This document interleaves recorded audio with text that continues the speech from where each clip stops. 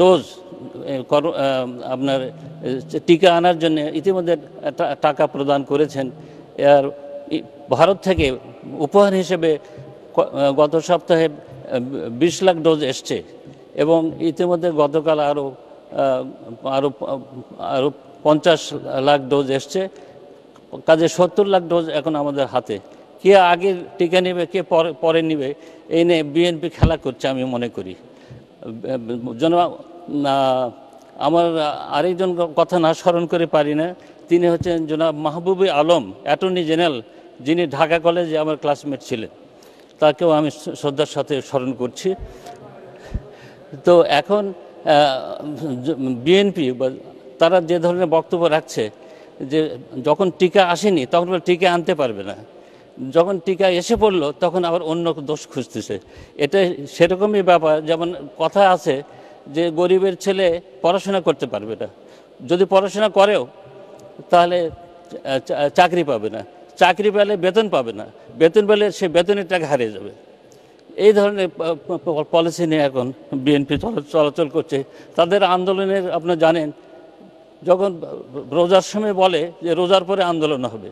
রোজা চলে গেলে কোরবানির ঈদের পরে আন্দোলন হবে। কোরবানির ঈদ চলে গেলে শীতকালে আন্দোলন হবে। এই ধরনের তাদের পলিসি তারা ঘরের মধ্যে বসে প্রেস কনফারেন্স করে পলিটিক্স করতেছেন এখন। তো জনাব ফসরুল ফখরুল ইসলাম আলমগীরও আমার ঢাকা কলেজ তেষট্টি বছর ছিল, আমাদের সাথে পড়াশোনা করেছে। তার যে এত মতিভ্রম হয়েছে, আমি বুঝতে পারছি না। তো, আমি আরও একটু স্মরণ করছি আমি অত্যন্ত আনন্দিত, মাননীয় প্রধানমন্ত্রী, আমরা প্রকৌশল বিশ্ববিদ্যালয়ে একই হলে ছিলাম, তখনকার লিয়াকত হল এখন সরাদ্দি হল সেখানকার তিনজনকে উনি আমাদের কয়েকবার কয়েকবার মনোনীত করেছেন, এবং আরেকজন টেকনোক্রাট হিসেবে, মন্ত্রী হিসেবে আছেন। আমি উনিশশো তেষট্টি সালে ঢাকা বগুড়া জেলা স্কুল থেকে স্ট্যান্ড করে ঢাকা কলেজে ভর্তি হওয়ার পরে তখন হামিদুর রহমান কমিশন আন্দোলন চলে। তখন একবার অটো অটো গ্রাজুয়েশন হয়েছিল বাষট্টি সালে। হামিদুর রহমান কমিশন আন্দোলনের সময় পরীক্ষা নিতে পারিনি। আর তেষট্টি, পঁয়ষট্টি সালে আমি যখন ঢাকা কলেজের ছাত্র, তখন হোসেন শহীদ সরওয়ার্দে মাননীয় গণতন্ত্রের মানসপুত্র, তিনি বৈরুতে ইন্তেকাল করেন। তার জানা যায় আমার সৌভাগ্য হয়েছিল তেষট্টি সালে রেসকোর্স ময়দানে জানা যায় উপস্থিত হওয়া। ঢাকা কলেজ থেকে আমি ছাত্রলীগ করে আসতেছি। আমি পঁয়ষট্টি, উনসত্তর সালে প্রকৌশল বিষয় লিয়াকত হলে আমি তখন ছাত্রলীগের সভাপতি ছিলাম চার বছর। এবং বুয়েট শাখা ছাত্রলীগের সহসভাপতি ছিলাম চার বছর।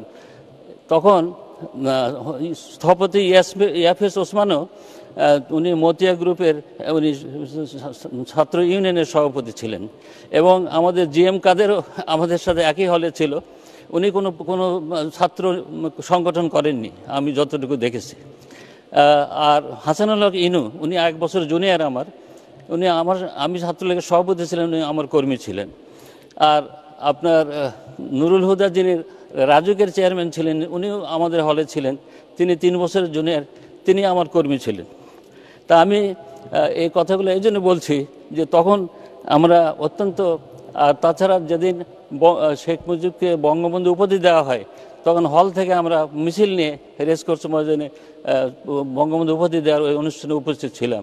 বঙ্গবন্ধু যখন উনিশশো বাহাত্তর সালে দেশে ফেরেন, তখন পুরাতন এয়ারপোর্ট থেকে তার ট্রে তার ট্রাকের পিছে আমরা চলে গেছি এবং রেসকোর্স ময়দানে যা তার বক্তব্য শুনেছি। আমি এতগুলো বক্তব্য এই জন্য করছি যে বঙ্গবন্ধু এমন একজন নেতা যার চব্বিশ বছর পাকিস্তান আমলের মধ্যে প্রায় সাড়ে তেরো বছর তিনি জেল খেটেছেন। তার মধ্যে মাননীয় সদস্য, শেষ করবেন দুই মিনিট। অন্য কথায় চলে গেছে। আমি আমার মনে করি যে আমি আমার এলাকার একটু কথা না বললেই নয়। তো আমি সেই জন্য আমার এলাকার কিছু ব্যাপার আছে সেগুলো আমি এখন আপনার কাছে তুলে ধরছি। আমি গোবিন্দগঞ্জ মহিলা কলেজকে ডিগ্রি করার জন্য অনুরোধ আবেদন জানাচ্ছে। এটা মাননীয় প্রধানমন্ত্রীর বিবেচনাধীন এখন আছে। আমি গোবিন্দগঞ্জে এক হাজার আসন বিশিষ্ট একটা অডিটোরিয়াম নির্মাণের অনুরোধ করছি। গোবিন্দগঞ্জে একটি পাবলিক লাইব্রেরি স্থাপনের জন্য অনুরোধ করছি। রংপুর সুগার মিলস সহ ছয়টি সুগার মিল, দেশে পনেরোটি সুগার মিল আছে। তার মধ্যে ছয়টি সুগার মিল এবছর ক্রাশ করা হয়নি আখ। কিন্তু এগুলা লসে যাচ্ছে এই কারণে তিন মাস মাত্র এইসব সুগার মিল চালু থাকে। আমি আশা করি মাননীয় শিল্পমন্ত্রী, মাননীয় প্রধানমন্ত্রী যদি বাকি নয় মাস অন্য কোনো ডিস্টিলারি বা অন্য কোনো অ্যাগ্রো বেস্ট ইন্ডাস্ট্রি করা যায় যে সুগার মিলগুলো হয়তো লাভজনক হতে পারে। রংপুর সুগার মিলকেও এইভাবে আনা যেতে পারে। গোবিন্দগঞ্জে একটি ইকোনমিক জোন করার অনুরোধ করছে, আমি জানতে পেরেছি ইতিমধ্যে মাননীয় প্রধানমন্ত্রী এ ব্যাপারে অনেকটা আমাদের প্রতি সম্মতি দিয়েছেন। এছাড়া বগুড়া থেকে রংপুর, দিনাজপুর পর্যন্ত যেন গ্যাস লাইন সম্প্রসারণ করা হয় এই অনুরোধ জানাচ্ছি। এবং গাইবান্ধা কৃষি ইনস্টিটিউট প্রায় তিরিশ চল্লিশ বছর পুরাতন। এই কৃষি কৃষি ইনস্টিটিউটকে কৃষি বিশ্ববিদ্যালয়ে রূপান্তর করার জন্য অনুরোধ করেছি। আমি যেহেতু এলজিডির একসময় চিফ ইঞ্জিনিয়ার ছিলাম সমস্ত রাস্তাঘাট গ্রাম পর্যন্ত যাওয়া যাচ্ছে এই যে এলজিডির কারণেই কিন্তু সম্ভব হচ্ছে। আরেকটা বলব যে গোবিন্দগঞ্জে একটি সার কারখানা করার জন্য তাহলে উত্তরবঙ্গে সার বিতরণ করা সুবিধা হবে। মাননীয় সদস্য শেষ করতে হবে আপনার সময় শেষ হয়েছে। জি শেষ করুন এক মিনিট। মিনিট। আমি আরেকটা বলছি যে বগুড়া সিরাজগঞ্জ যে রেল লাইনের কথা হচ্ছে অনেক দিন ধরে, যখন বগুড়া জয়দেবপুর রেল লাইন হয়, একই সঙ্গে ওটা সার্ভে হয়েছে। তো এটা শেষ পর্যায়ে আছে আমি শুনেছি, এটা যত তাড়াতাড়ি টেন্ডার করা যায়, তাহলে আমরা উত্তরবঙ্গ থেকে ঢাকা ঢাকা অনেক কম সময় ট্রেনে আসতে পারব। আমাদের এখানে ঈশ্বরদী হয়ে ঘুরতে হয়। তো আমি বগুড়া, সিরাজগঞ্জ রেল লাইনের টেন্ডার করার ব্যাপারে অনুরোধ জানাচ্ছি। আমি আরেকটা কথা না বললে পারি না, সেটা হলো যে শাহ আজিজুর রহমান একাত্তর সালে জাতিসংঘে গিয়ে আমাদের বিরুদ্ধে বক্তব্য দিয়েছেন। তাকে জিয়াউর রহমান সাহেব তাকে প্রধানমন্ত্রী বানিয়েছেন। আলিম সাহেব অনেক হত্যাকাণ্ডের সাহায্য তাকে মন্ত্রী তার স্ত্রী এসে আবার তাদের দুইজনকে জাতীয় পতাকা দিয়েছেন। এটা অত্যন্ত ঘৃণিত কাজ বলে আমি মনে করি। আরও সময় থাকলে আরও কথা বলা যেত। সবাইকে ধন্যবাদ জানিয়ে ধন্যবাদ, মাননীয় সদস্য। মাননীয় সদস্য, আপনাকে ধন্যবাদ। আমি এখন মাননীয় সদস্য জনাব ফখরুল ইমাম ময়মনসিংহ আটকে তার বক্তব্য রাখার আহ্বান জানাচ্ছি। আপনার সময় বারো মিনিট। ধন্যবাদ, মাননীয় স্পিকার। আমি প্রথমেই স্মরণ করছি, জাতির জনক সর্বকালের সর্বশ্রেষ্ঠ বাঙালি বঙ্গবন্ধু শেখ মুজিবুর রহমানকে। যার জন্ম না হলে বাংলাদেশ জন্ম হতো না আর আমি এমপি হতে পারতাম না। আমি আরও স্মরণ করছি, পঁচাত্তরে নিহত বঙ্গবন্ধু পরিবারের শহীদদের শ্রদ্ধা জানাই, ত্রিশ লক্ষ শহীদ যাদের আত্মত্যাগের বিনিময়ে আমাদের মহান স্বাধীনতা অর্জিত হয়েছে। আমি স্মরণ করছি, আমার নেতা আধুনিক বাংলাদেশের স্বপ্নদ্রষ্টা তথা ভিত্তিপ্রস্তর স্থাপনকারী নেতা, জননেতা পল্লী বন্ধু হোসেন মোহাম্মদ এরশাদকে। শ্রদ্ধার সঙ্গে স্মরণ করছি বেগম এরশাদ যার বলিষ্ঠ নেতৃত্বের জন্য পার্টির সমর্থনে দুই হাজার চোদ্দ সালের নির্বাচনে মহাজোট নিরঙ্কুশ সংখ্যাগরিষ্ঠতা পায়, যা বর্তমান সরকারের ভিত্তিকে মজবুত করেছে। আমি স্মরণ করছি, আমাদের জাতীয় পার্টির বর্তমান চেয়ারম্যান মোহাম্মদ গোলাম কাদের সহ করোনায় আক্রান্ত সকলের দ্রুত আরোগ্য কামনা করছি এবং করোনায় প্রাণ হারানো সকলের রুহের মাগফরতা কামনা করছি। করোনা যোদ্ধাদের জানাই আন্তরিক অভিনন্দন। চিকিৎসক, নার্স, স্বাস্থ্যকর্মী আইন শৃঙ্খলা বাহিনী, সেনাবাহিনী, প্রশাসনিক কর্মকর্তা, জনপ্রতিনিধিগণ। মানুষের প্রয়োজনে অকুত ভয়ে যারা এগিয়ে এসছেন, তাদের জানাই শ্রদ্ধা ও সালাম। মাননীয় স্পিকার, মহামান্য রাষ্ট্রপতি, নিয়ম ও রীতি অনুযায়ী গত আঠেরোই জানুয়ারি দুই হাজার একুশে একশো সাতচল্লিশ পৃষ্ঠার একটি ভাষণ দেন, যা বত্রিশ পৃষ্ঠা একটি সংক্ষিপ্ত আকারে উনি পাঠ করেন। ভাষণে মূলত অর্থনৈতিক পরিস্থিতি, পরিকল্পনা, উন্নয়ন ও বিনিয়োগ, শিল্প, বাণিজ্য কৃষি, খাদ্য, মৎস্য, প্রাণী সম্পদ ব্যবস্থাপনা সহ একত্রিশটি বিষয়ে বক্তব্য দেওয়া হয়। এর সর্বপ্রথম অর্থনৈতিক পরিস্থিতি নিয়ে আমি কিছু আলোচনা করতে চাই।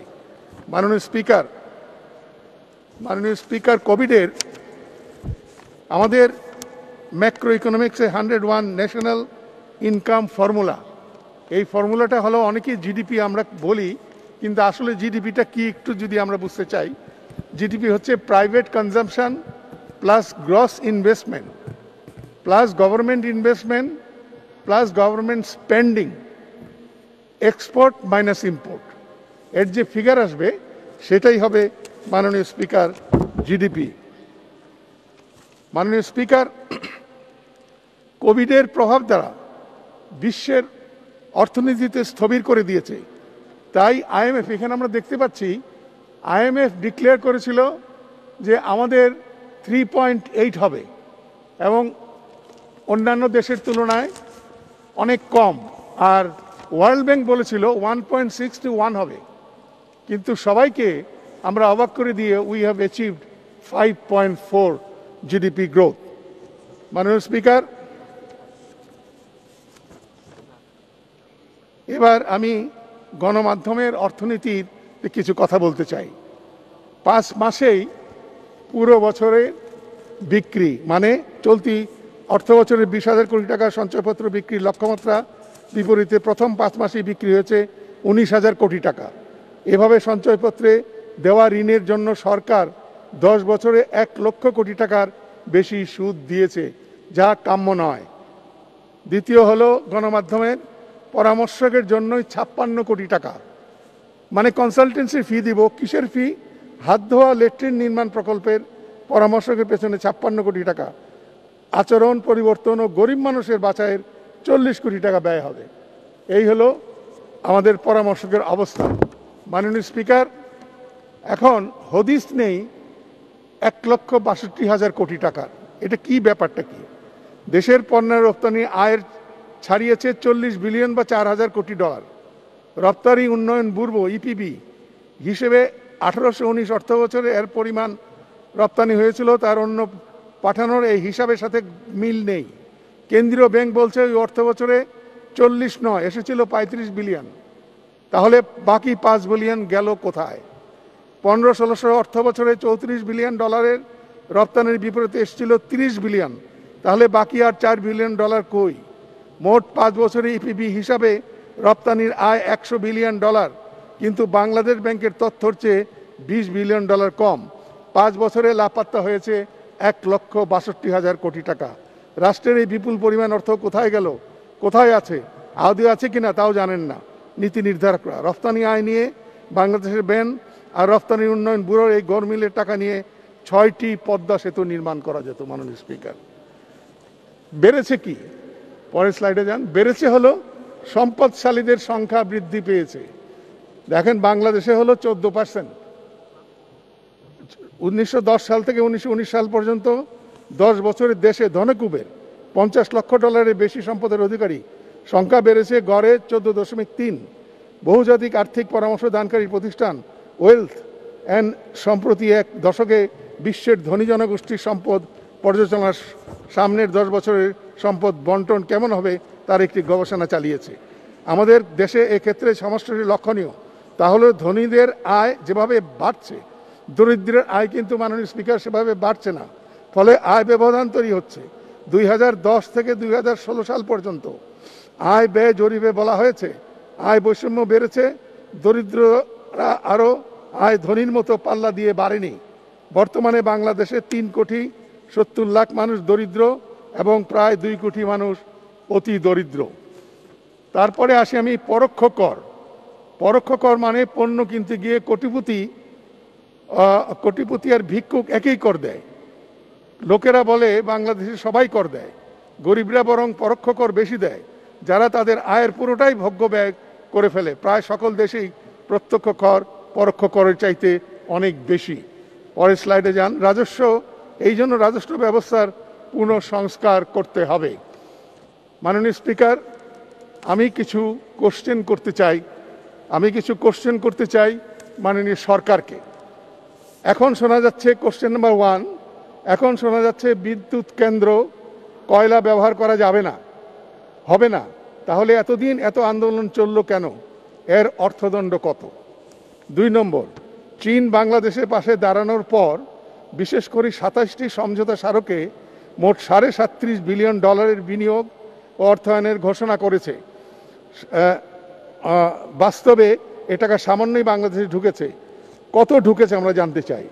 তিন নম্বর, বাংলাদেশের বিভিন্ন খাতে দুর্নীতির বিরাট অভিযোগ উঠেছে। বৃহৎ প্রকল্পগুলোর ক্ষেত্রেও দুর্নীতির অভিযোগ আছে কি?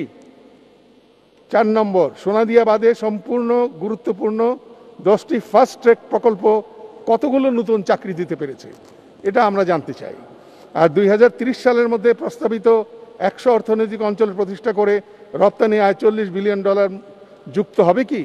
এর মধ্যে সরকার চীন, ভারত টানাপোড়ার কোনো প্রভাব আশঙ্কা করছেন কিনা? মাননীয় স্পিকার, এরপরে আমরা দেখি পপুলেশন ডাইনামিক্স। পপুলেশন ডাইনামিক্সে আমরা দেখতে পাচ্ছি যে উনিশশো একানব্বই সালে কোনো কর্মক্ষণ লোভ ছিল না। পরের স্লাইডে, উনিশশো এগারো সালে আমরা দেখতে পাই দশ থেকে পনেরো, দশ থেকে বিশ বছরের মধ্যে জনসংখ্যা বেশি। আর এখন এখন হচ্ছে আমরা দেখতে পাচ্ছি যে দুই হাজার একত্রিশ সালে বয়সভিত্তিক জনসংখ্যার চিত্র একে দেখা যাচ্ছে পনেরো থেকে পঞ্চাশ বছরের জনসংখ্যা হাতে বেশি। এটাই হলো কারণ। এখানে দেখা যাচ্ছে, এর পরের স্লাইডে যদি আমরা যাই, এখানে দেখা যাচ্ছে যে করোনায়, যেহেতু করোনায় বিশ থেকে পঞ্চাশের মধ্যে আক্রান্ত বেশি, কিন্তু মারা যাচ্ছে পঞ্চাশ থেকে সত্তর বছরে। বাংলাদেশ এখন ডেমোগ্রাফিক ডিভিডেন্ডে আছে। এখন অর্থাৎ আল্লাহর অশেষ রহমতে ডেমোগ্রাফিক ডিভিডেন্ডের মাধ্যমে আমাদের করোনার ক্ষতি কম হয়েছে। মানে কর্মক্ষণ ব্যক্তি আমাদের এই সময়টায় বেশি বলেই তারা আক্রান্ত কম হয়েছে। মাননীয় স্পিকার, এর পরের সাইডে যাই। আমরা লেবাননের প্রবাসীরা মানবতর জীবনযাপন করছে, মাননীয় স্পিকার। এখানে এই পুরোটা পড়তে গেলে আমার সময় লাগবে, শুধু এইটুকু বলব যে ওইখানে অনেক কর্মচা, কর্মচারীরা আপনার জীবন হারিয়েছে, অনেকে চাকরি হারিয়েছে এবং তারা দেশে আসার জন্য চেষ্টা করছে। এইভাবে বাহরাইনের তিন হাজার কুয়েতেও অনেক অনেক আছে। তারপরে হলো এগারো বিশ গ্রেডের সরকারি চাকরিজীবী সম্মিলিত অধিকার আদায় ফোরাম, এর কিছু যৌক্তিক দাবি আছে, এগুলো মেনে নেওয়ার জন্য আমি বলছি। আমি এখন একটা স্টেটমেন্ট পাক করব, মাননীয় স্পিকার এই স্টেটমেন্টটা হলো, কি আছে শেখ হাসিনার নেতৃত্ব ও ব্যক্তিত্বে? দুই হাজার উনিশ সালে চুয়াত্তরতম জাতিসংঘের অধিবেশনে যে সম্মাননা উনি পেয়েছেন তা নজিরবিহীন। সেখানে মোদি এবং আমাদের পাকিস্তানের ইমরান খান তার থেকে অনেক বেশি সম্মাননা পেয়েছেন। তাহলে কেন পেলেন? প্রথমত শেখ হাসিনা সৎ, স্বচ্ছ এবং দেশপ্রেমিক। ব্যক্তিকেন্দ্রিক নন, তিনি বহুমাত্রিক। তিনি ভেবেচিন্তে সিদ্ধান্ত গ্রহণ করেন। সিদ্ধান্ত নেওয়ার আগে তিনি সব কিছু পর্যবেক্ষণ করেন। তিনি আশাবাদী মানুষ। নানা সংকটে পড়ে বাংলাদেশে মানুষ প্রায় হতাশাগ্রস্ত হয়ে পড়ত। কিন্তু শেখ হাসিনা ক্ষমতায় আসার পূর্বে সেই পরিস্থিতি পর্যায়ে বদলে যেতে শুরু করেছে। মানুষ এখন সাহসী এবং আশাবাদী হয়ে উঠছে। বলা যেতে পারে প্রধানমন্ত্রী শেখ হাসিনাই এখন সাধারণ মানুষের মনের সাহস। চুয়ান্ন হাজার বর্গ মাইল বাংলাদেশে আজ শেখ হাসিনার নেতৃত্বে বিশ্বব্যাপী বিস- বিস্তৃত উন্নয়নের রোল মডেল ছোট একটি ভূখণ্ডের বাংলাদেশে সতেরো কোটি মানুষ। এই মানুষের বড় একটি শ্রেণি লুটেরা চরিত্রের মাননীয় স্পিকার, যাদের লোভের কোনো শেষ নাই, যা পায় সবাই লুটিপুটি খেতে চায় এবং খায়। সেই দেশটিকে আত্মনির্ভর করার জন্য শেখ হাসিনার যত সব পরিকল্পনা, দৃঢ়তা, সঠিক নেতৃত্ব হচ্ছে বাংলাদেশের উন্নয়নের মূল চালিকা শক্তি। এখন আমার প্রশ্ন হলো, এই লুটেরা কারা? এরা কি দলে আছে? এরা কি সরকারে? এরা কি আশেপাশে আছে? এরা কি কি নুক- নিকটে আছে? এদের বিরুদ্ধে আপনি কি ব্যবস্থা গ্রহণ করবেন আমরা জানতে চাই। মাননীয় স্পিকার, পরিস্থিতি এখানে। আমার ওখানে নদী খনন হচ্ছে। আপনি যদি একটু দেখেন নদী খনন হচ্ছে। সেই নদী খননের আপনি প্রথম, প্রথমটা হলো এটা ইউলুপ আছে। এই ইউলুপের প্রথম দিকে এটা অরিজিনাল নদী ছিল। এটা যদি কেটে দেওয়া যেত ইউলুপের মধ্য দিয়ে পানি কম প্রবাহিত হতো।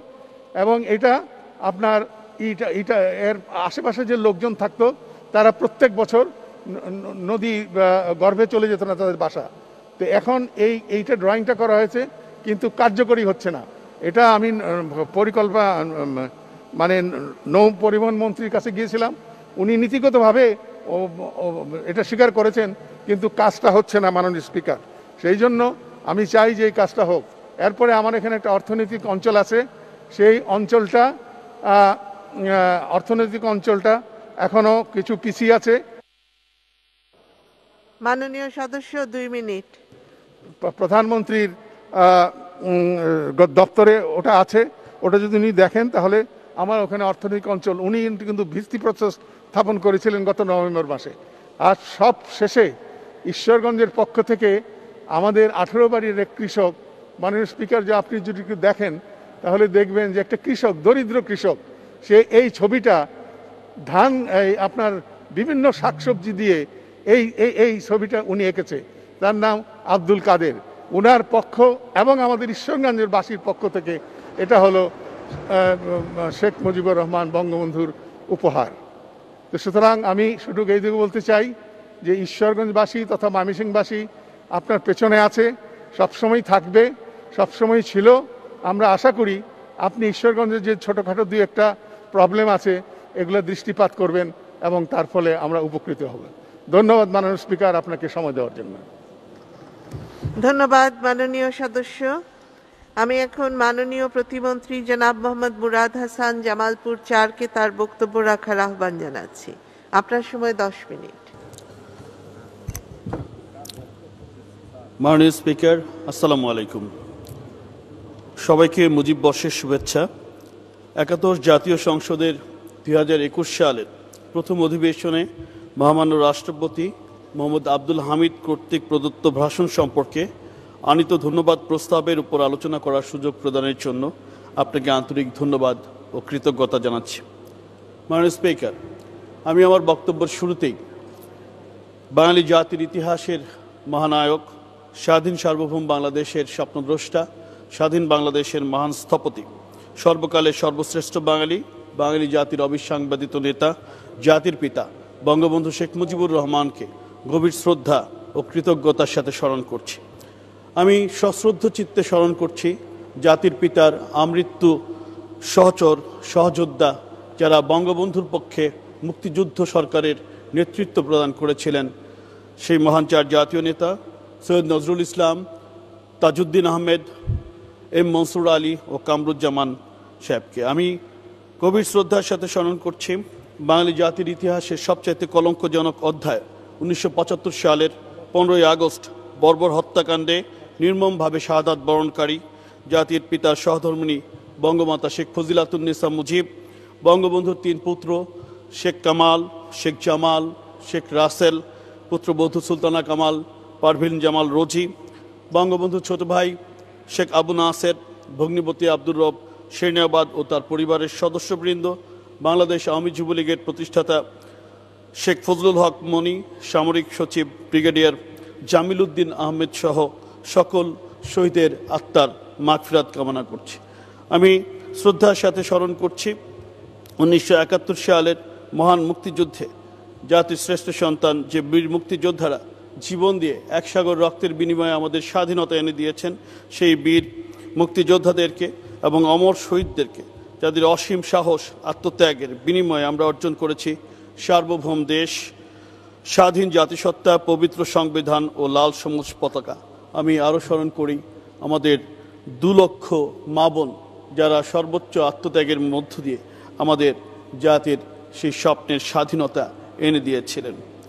আমি আজকে এই মহান সংসদে দাঁড়িয়ে আমাদের মাননীয় প্রধানমন্ত্রী, আমাদের এই বাংলার সতেরো কোটি মানুষের আশা, আকাঙ্ক্ষার শেষ ঠিকানা, আমাদের পরম শ্রদ্ধেয় মমতাময়ী মা, আমাদের আশার আলো, আমাদের বাতিঘর, জননেত্রী শেখ হাসিনার প্রতি যিনি আমাকে দুইবার মহান জাতীয় সংসদের সদস্য নির্বাচন করার জন্য আওয়ামী লীগের মনোনয়ন প্রদান করেছেন এবং দু হাজার আঠারো সালের একাদশ জাতীয় নির্বাচনে নির্বাচিত হওয়ার পর আমাকে মন্ত্রী সদস্যে, মন্ত্রিসভার প্রতিমন্ত্রী হিসেবে আমাকে সেই পদ দান করে ধন্য করেছেন। আমি কৃতজ্ঞতা স্বীকার করছি মাননীয় প্রধানমন্ত্রীর প্রতি। মাননীয় স্পিকার, মহান জাতীয় সংসদে মহামান্য রাষ্ট্রপতি আঠারোই জানুয়ারি একশো সাতচল্লিশ পৃষ্ঠার যে ভাষণ প্রদান করেছেন, তা বাংলাদেশের বিগত এক যুগের সামগ্রিক উন্নয়নের একটি তথ্যচিত্র, একটি দলিল উপস্থাপিত হয়েছে। যার মধ্য দিয়ে বিগত এক যুগ ধরে মাননীয় প্রধানমন্ত্রীর নেতৃত্বে সমগ্র বাংলাদেশের যে উন্নয়নের ইতিহাস মাননীয় প্রধানমন্ত্রী রচনা করেছেন, তা পরিষ্কারভাবে জাতির সামনে ফুটে উঠেছে। মাননীয় স্পিকার, সকল রাজনৈতিক দলের অংশগ্রহণে গত ত্রিশ ডিসেম্বর দুই হাজার আঠারো তারিখে অবাধ, সুষ্ঠু, নিরপেক্ষ নির্বাচনের মাধ্যমে একাদশ জাতীয় সংসদ নির্বাচনে নিরঙ্কুশ সংখ্যাগরিষ্ঠতা অর্জন করে চতুর্থবারের মতো মাননীয় প্রধানমন্ত্রী জননেত্রী শেখ হাসিনার নেতৃত্বে সরকার গঠিত হয়। জাতির পিতা বঙ্গবন্ধুর স্বপ্নের সোনার বাংলা, গড়ার প্রত্যয়ে মাননীয় প্রধানমন্ত্রী শেখ হাসিনার নেতৃত্বাধীন সরকার রূপকল্প দুই হাজার একুশ এবং রূপকল্প দুই হাজার একচল্লিশ গ্রহণ করেন। ষষ্ঠ সপ্তম পঞ্চবার্ষিক পরিকল্পনা সফলতার সাথে বাস্তবায়নের মাধ্যমে জাতিসংঘ ঘোষিত সহস্র, সহস্রাব্দ উন্নয়ন অভিষ্ট এর লক্ষ্যমাত্রা সমূহ নির্ধারিত সময়ের আগেই মাননীয় প্রধানমন্ত্রীর নেতৃত্বে বাংলাদেশ অর্জন করে। বাংলাদেশ উন্নয়নশীল দেশের শ্রেণীতে উত্তরণের সকল যোগ্যতা ইতিমধ্যে অর্জন করেছে। আন্তর্জাতিক অঙ্গনে বাংলাদেশ এখন উন্নয়নের রোল মডেল হিসেবে প্রশংসিত। ইতিমধ্যে সরকারের রূপকল্প দুই হাজার একুশ বাস্তবায়ন শেষে রূপকল্প দুই হাজার একচল্লিশের কৌশলগত দলিল দ্বিতীয় প্রেক্ষিত পরিকল্পনা দুই হাজার একুশ থেকে দুই হাজার একচল্লিশ প্রণয়ন করেছে। প্রণয়ন করা হয়েছে বাংলাদেশ বদ্বীপ পরিকল্পনা দুই হাজার একশো এবং অষ্টম পঞ্চবার্ষিক পরিকল্পনা দুই হাজার একুশ থেকে দুই উন্নত সমৃদ্ধ বাংলাদেশ বিনির্মাণে মাননীয় প্রধানমন্ত্রী জননেত্রী শেখ হাসিনার উন্নয়ন দর্শন রূপকল্প দুই হাজার একচল্লিশের প্রধান অভিষ্ট হল দুই হাজার একত্রিশ সালের মধ্যে চরম দারিদ্র্যের অবসান, উচ্চ মধ্য আয়ের দেশের মর্যাদায় উত্তরণ এবং দুই হাজার একচল্লিশ সালের মধ্যে দারিদ্র্যের অবলুপ্তিসহ উচ্চ আয়ের দেশের মর্যাদায় আসীন হওয়া। এদেশের মানুষের দৃঢ় বিশ্বাস, মাননীয় প্রধানমন্ত্রী বঙ্গবন্ধু কন্যার নেতৃত্বে সরকার এই সকল লক্ষ্যসমূহ অর্জনে সম্পূর্ণভাবে সক্ষম হবে। মাননীয় স্পিকার, কোভিড নাইন্টিন পরিস্থিতিতে যখন সারা বিশ্বের উন্নত দেশগুলো ভীষণভাবে পর্যুদস্ত, তখন মাননীয় প্রধানমন্ত্রী দেশরত্ন শেখ হাসিনার সময়োচিত সাহসী সিদ্ধান্তের ফলে বাংলাদেশ করোনা পরিস্থিতিকে সাফল্যের সাথে মোকাবেলা করতে সক্ষম হচ্ছে।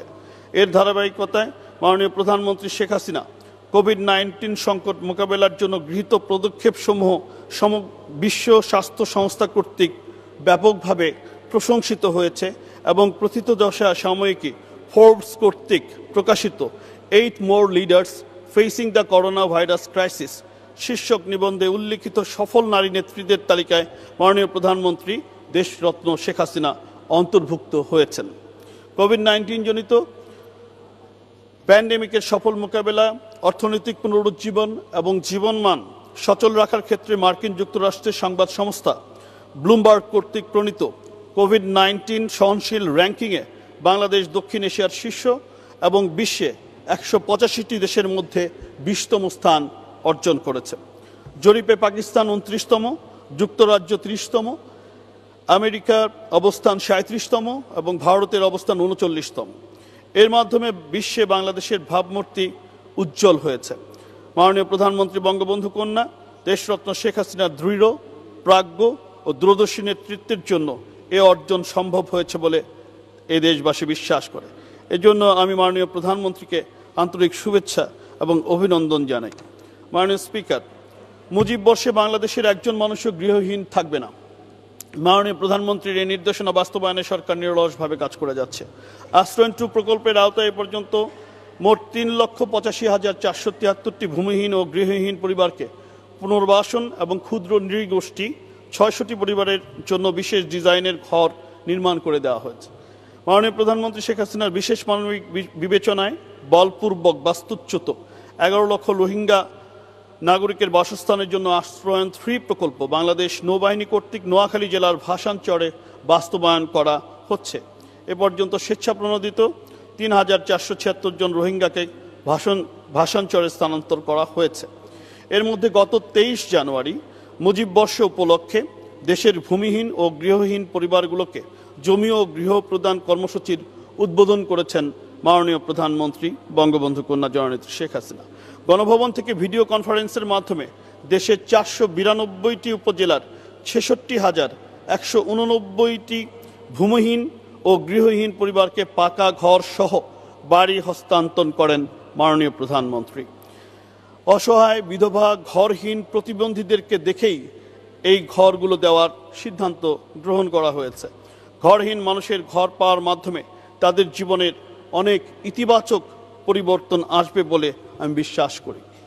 মাননীয় স্পিকার, মাননীয় প্রধানমন্ত্রী শেখ হাসিনার নেতৃত্বে নিজস্ব অর্থায়নে পদ্মা বহুমুখী সেতুর দুই প্রান্তের মাওয়া ও জাজিরা সংযোগকারী সর্বশেষ একচল্লিশতম স্প্যান স্থাপনের মাধ্যমে পদ্মা সেতুর ছয় দশমিক এক পাঁচ কিলোমিটার মূল অবকাঠামো দৃশ্যমান হয়েছে। পদ্মা সেতু নির্মাণ কাজ জুলাই দুই হাজার বাইশ সাল নাগাদ সমাপ্ত হবে। এর ফলে দেশের দক্ষিণ অঞ্চলের সাথে অন্যান্য অঞ্চলের সমন্বিত যোগাযোগ ব্যবস্থা গড়ে উঠবে। কর্ণফুলী নদীর তলদেশে তিন দশমিক দুই তিন তিন দুই কিলোমিটার দীর্ঘ। বঙ্গবন্ধু শেখ মুজিবুর রহমান বহুলে- বহু লেন টানেলের নির্মাণ কাজ ডিসেম্বর দুই হাজার বাইশ সালের মধ্যে সম্পন্ন হবে। ইতিমধ্যে টানেলের প্রথম টিউবের নির্মাণ কাজ শেষে গত বারোই ডিসেম্বর দু হাজার বিশ থেকে দ্বিতীয় টিউবের নির্মাণ নির্মাণ কাজ শুরু হয়েছে। হজরত শাহজালাল আন্তর্জাতিক বিমানবন্দর থেকে ঢাকা, চট্টগ্রাম মহাসড়কের সড়কের কুতুবখালী পর্যন্ত র্যাম্প সহ ছেচল্লিশ দশমিক সাত তিন kilometre Dhaka elevated express way নির্মাণ কাজ জুন দুই সাল নাগাদ সম্পন্ন হবে। হজরত শাহজালাল আন্তর্জাতিক বিমানবন্দর থেকে সাভারি বিজেট পর্যন্ত চব্বিশ কিলোমিটার দীর্ঘ ঢাকা আশুলিয়া এলিভেটেড এক্সপ্রেসওয়ে নির্মাণ প্রকল্প চলমান রয়েছে। মাননীয় স্পিকার, আমাকে একটু দয়া করে সময় দেবেন এছাড়াও ঢাকা মহানগরী ও পার্শ্ববর্তী এলাকার যানজট নিরসনে ঢাকা দুই মিনিট জি।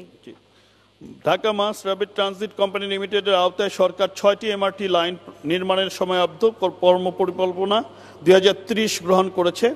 উত্তরা তৃতীয় পর্ব থেকে মতিঝিল পর্যন্ত বিশ দশমিক এক শূন্য কিলোমিটার দীর্ঘ এমআরটি লাইন এর পর্যন্ত সার্বিক অগ্রগতির কাজ প্রায় পঞ্চান্ন দশমিক পঞ্চান্ন শতাংশ বাস্তবায়ন হয়েছে। মাননীয় স্পিকার তথ্য প্রবাহ ও সৃজনশীলতার ধারা অব্যাহত রাখার লক্ষ্যে আইন, বিধি ও নীতিমালা প্রণয়ন করা হয়েছে। সরকারের অন্যান্য সকল সেক্টরের প্রচার কার্যক্রমের সাথে কোভিড নাইন্টিন সংক্রান্ত জনসচেতনামূলক প্রচার কার্যক্রম পরিচালনা করছে তথ্য মন্ত্রণালয়। সারা দেশে করোনাকালীন ক্ষতিগ্রস্ত তিন হাজার তিনশো পঞ্চাশ জন সাংবাদিককে সহজ, সহায়তা হিসেবে তিন কোটি পঁয়ত্রিশ লক্ষ টাকা বিতরণ করা হয়েছে মাননীয় প্রধানমন্ত্রী বঙ্গবন্ধু কন্যার নির্দেশনায়। বাংলাদেশ বেতার, বঙ্গবন্ধু স্যাটেলাইট ব্যবহার করে ঢাকা ও চট্টগ্রাম কেন্দ্রের অনুষ্ঠান দেশব্যাপী প্রচার করে চলেছে। মাননীয় স্পিকার, মুজিব বর্ষে সবার জন্য বিদ্যুৎ সুবিধা নিশ্চিত করার জন্য প্রতিশ্রুত মাননীয় প্রধানমন্ত্রীর শেখ হাসিনার উদ্যোগ ঘরে ঘরে বিদ্যুৎ বাস্তবায়ন করা হচ্ছে। বিদ্যুতের স্থাপিত ক্ষমতা ক্যাপটিভ ও নবায়নযোগ্য জ্বালানি সহ চব্বিশ হাজার চারশো একুশ মেগাওয়াটে এবং বিদ্যুৎ সুবিধাভোগী জনসংখ্যা চারচল্লিশ থেকে নিরানব্বই শতাংশে উন্নীত করা হয়েছে। দু হাজার ত্রিশ সালে বিদ্যুৎ উৎপাদন ক্ষমতা চল্লিশ হাজার মেগাওয়াট এবং একচল্লিশ সালে ষাট হাজার মেগাওয়াটে উন্নীত হবে। মাননীয় স্পিকার বৈধভাবে রেমিটেন্স পদ্ধতি সহজীকরণের সুফল হিসেবে প্রবাস আয়ের ক্ষেত্রে উল্লেখযোগ্য প্রবৃদ্ধি অর্জন হয়েছে। দু হাজার উনিশ বিশ অর্থ বছরের প্রবাস আয় পূর্ববর্তী বছরের তুলনায় দশ দশমিক আট আট সাত শতাংশ বৃদ্ধি পেয়েছে। এখন এই বৃদ্ধি পেয়ে দাঁড়িয়েছে আঠারো দশমিক দুই এক শতাংশ। বাংলাদেশ ব্যাংকের বৈদেশিক রিজার্ভ তেতাল্লিশ বিলিয়ন মার্কিন ডলারে উন্নীত হয়েছে, যা অতীতের সকল ইতিহাস ভঙ্গ করেছে। বাংলাদেশের প্রবৃদ্ধি এক, আট দশমিক এক এক পাঁচ শতাংশ উন্নীত হয়েছে। ধারাবাহিকভাবে এ প্রবৃদ্ধি বিশ্বব্যাপী প্রশংসিত হচ্ছে বাংলাদেশ আজকে বিশ্বের তৃতীয় প্রবৃদ্ধি অর্জনকারী দেশ। মাননীয় মন্ত্রী এক মিনিটে শেষ করবেন দয়া করে। ধন্যবাদ মাননীয় স্পিকার। বাংলাদেশের প্রবৃত্তির ধারাবাহিক অর্জন বিশ্বব্যাপী প্রশংসিত হয়েছে দুই হাজার উনিশ বিশ অর্থ বছরে। বাংলাদেশের জিডিপির প্রবৃত্তি কিছুটা হ্রাস পেয়ে দেশে দাঁড়িয়েছে পাঁচ দশমিক দুই চার শতাংশ। তবে একই সময়ে মাথাপিছু আয় জাতীয় আয় জাতীয় আয়ে আট দশমিক এক শতাংশ এক দুই শতাংশ বৃদ্ধি পেয়ে দাঁড়িয়েছে দুই হাজার চৌষট্টি মার্কিন ডলারে।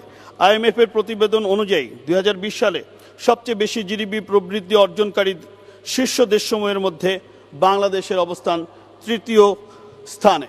মাননীয় স্পিকার, বাংলাদেশ আজকে জাতির পিতা বঙ্গবন্ধু শেখ মুজিবুর রহমানের স্বপ্নের সোনার বাংলা বিনির্মাণের লক্ষ্যে বঙ্গবন্ধু কন্যা জননেত্রী শেখ হাসিনার নেতৃত্বে দুর্বার গতিতে উন্নয়নের মহাসড়কে এগিয়ে চলেছে। কোনো স্বাধীনতা বিরোধী অপশক্তি বিএনপি জামাত কিংবা ধর্মীয় লেবারধারী কোনো রাজনৈতিক দলের ষড়যন্ত্র, দেশবিরোধী অপপ্রচার, প্রচারণা কিংবা জাতির পিতার ভাস্কর্য ভেঙে এই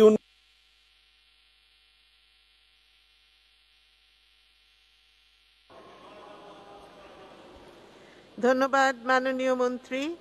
আমি এখন মাননীয় সদস্য জনাব কাজী নাবিজ আহমেদ যশোর তিনকে তার বক্তব্য রাখার আহ্বান জানাচ্ছি। আপনার সময় দশ মিনিট।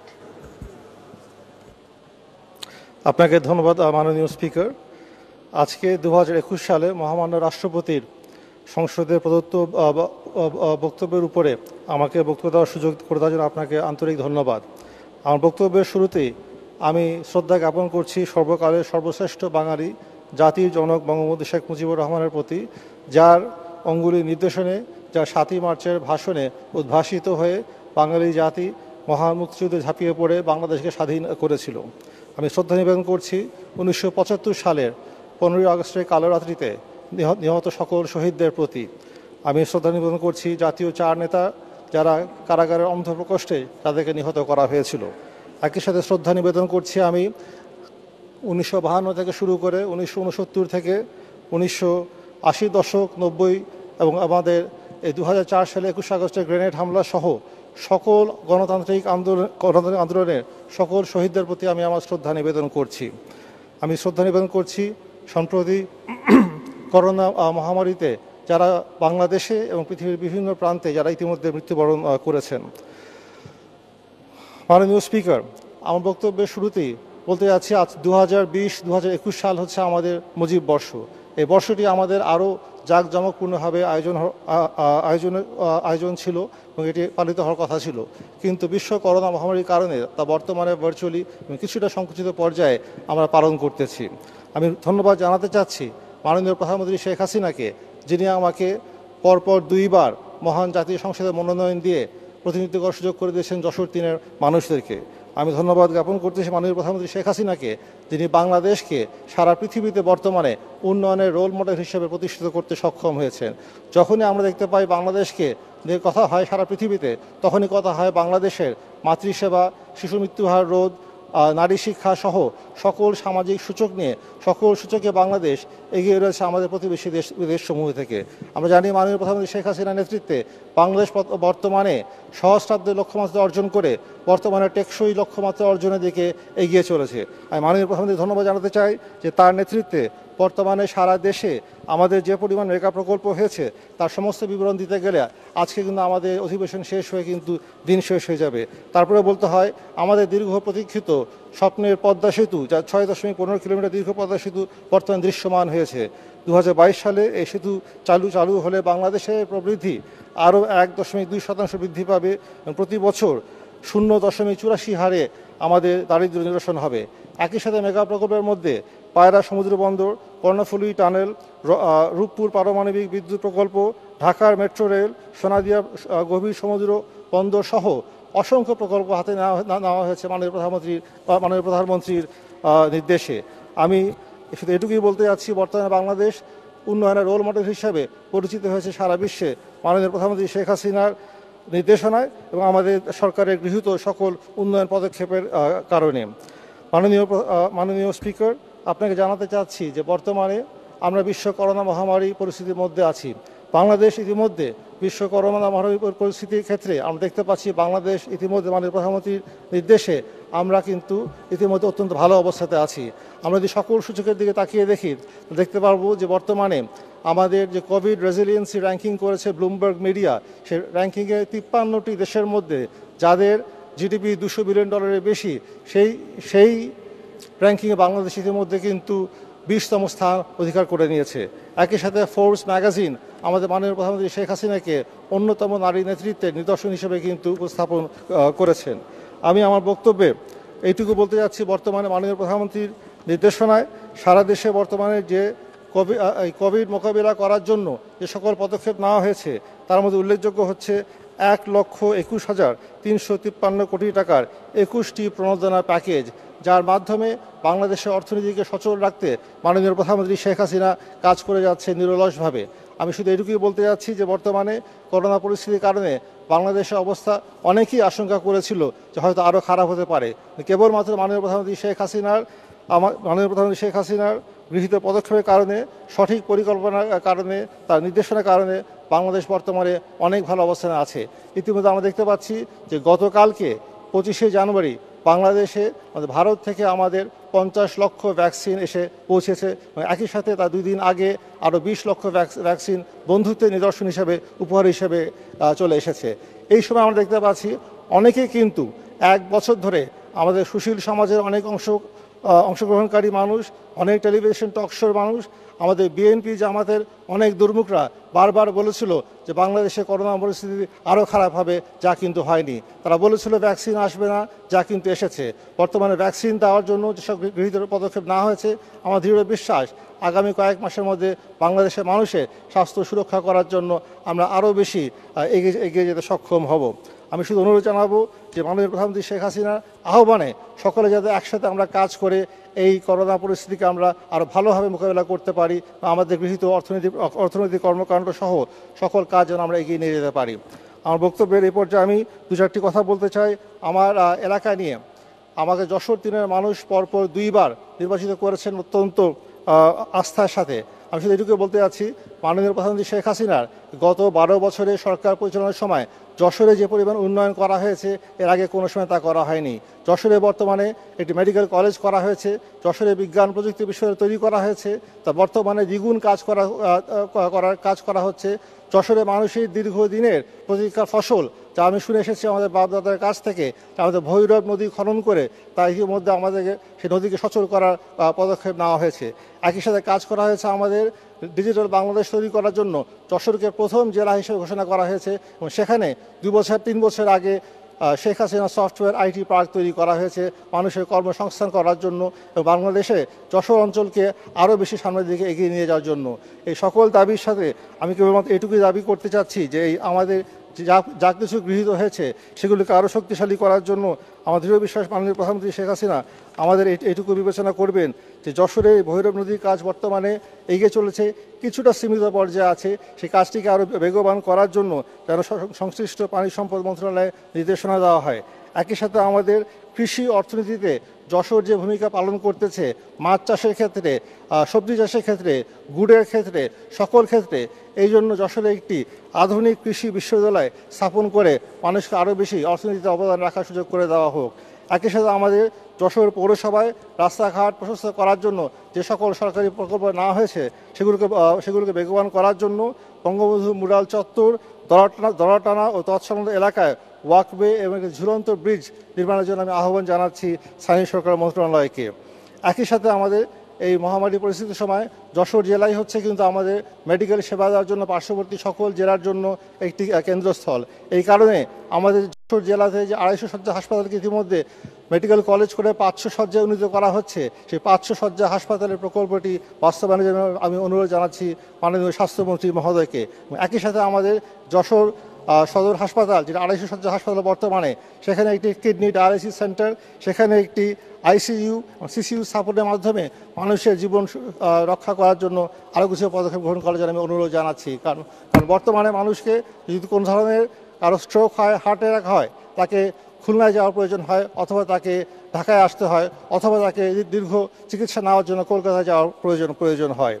আমার বক্তব্যের এই পর্যায়ে শুধু বলতে যাচ্ছি যশোর একটি ব্রিটিশ ভারতের প্রথম জেলার অন্যতম জেলা।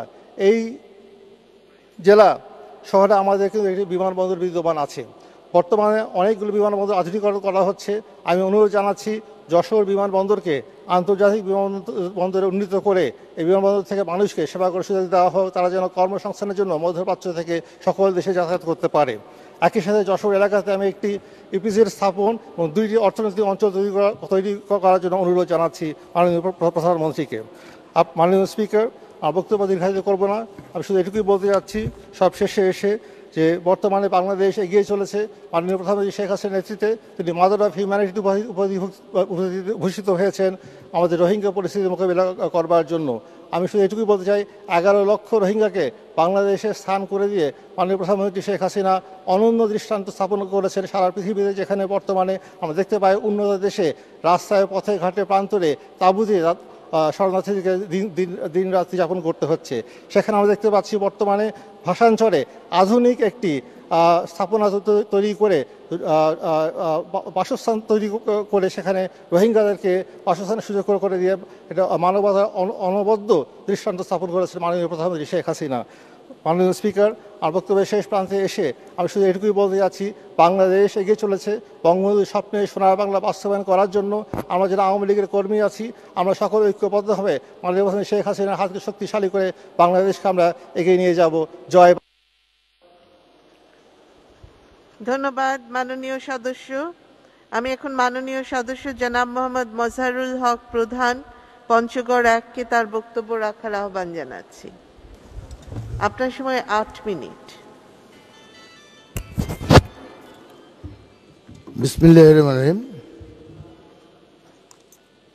আজকে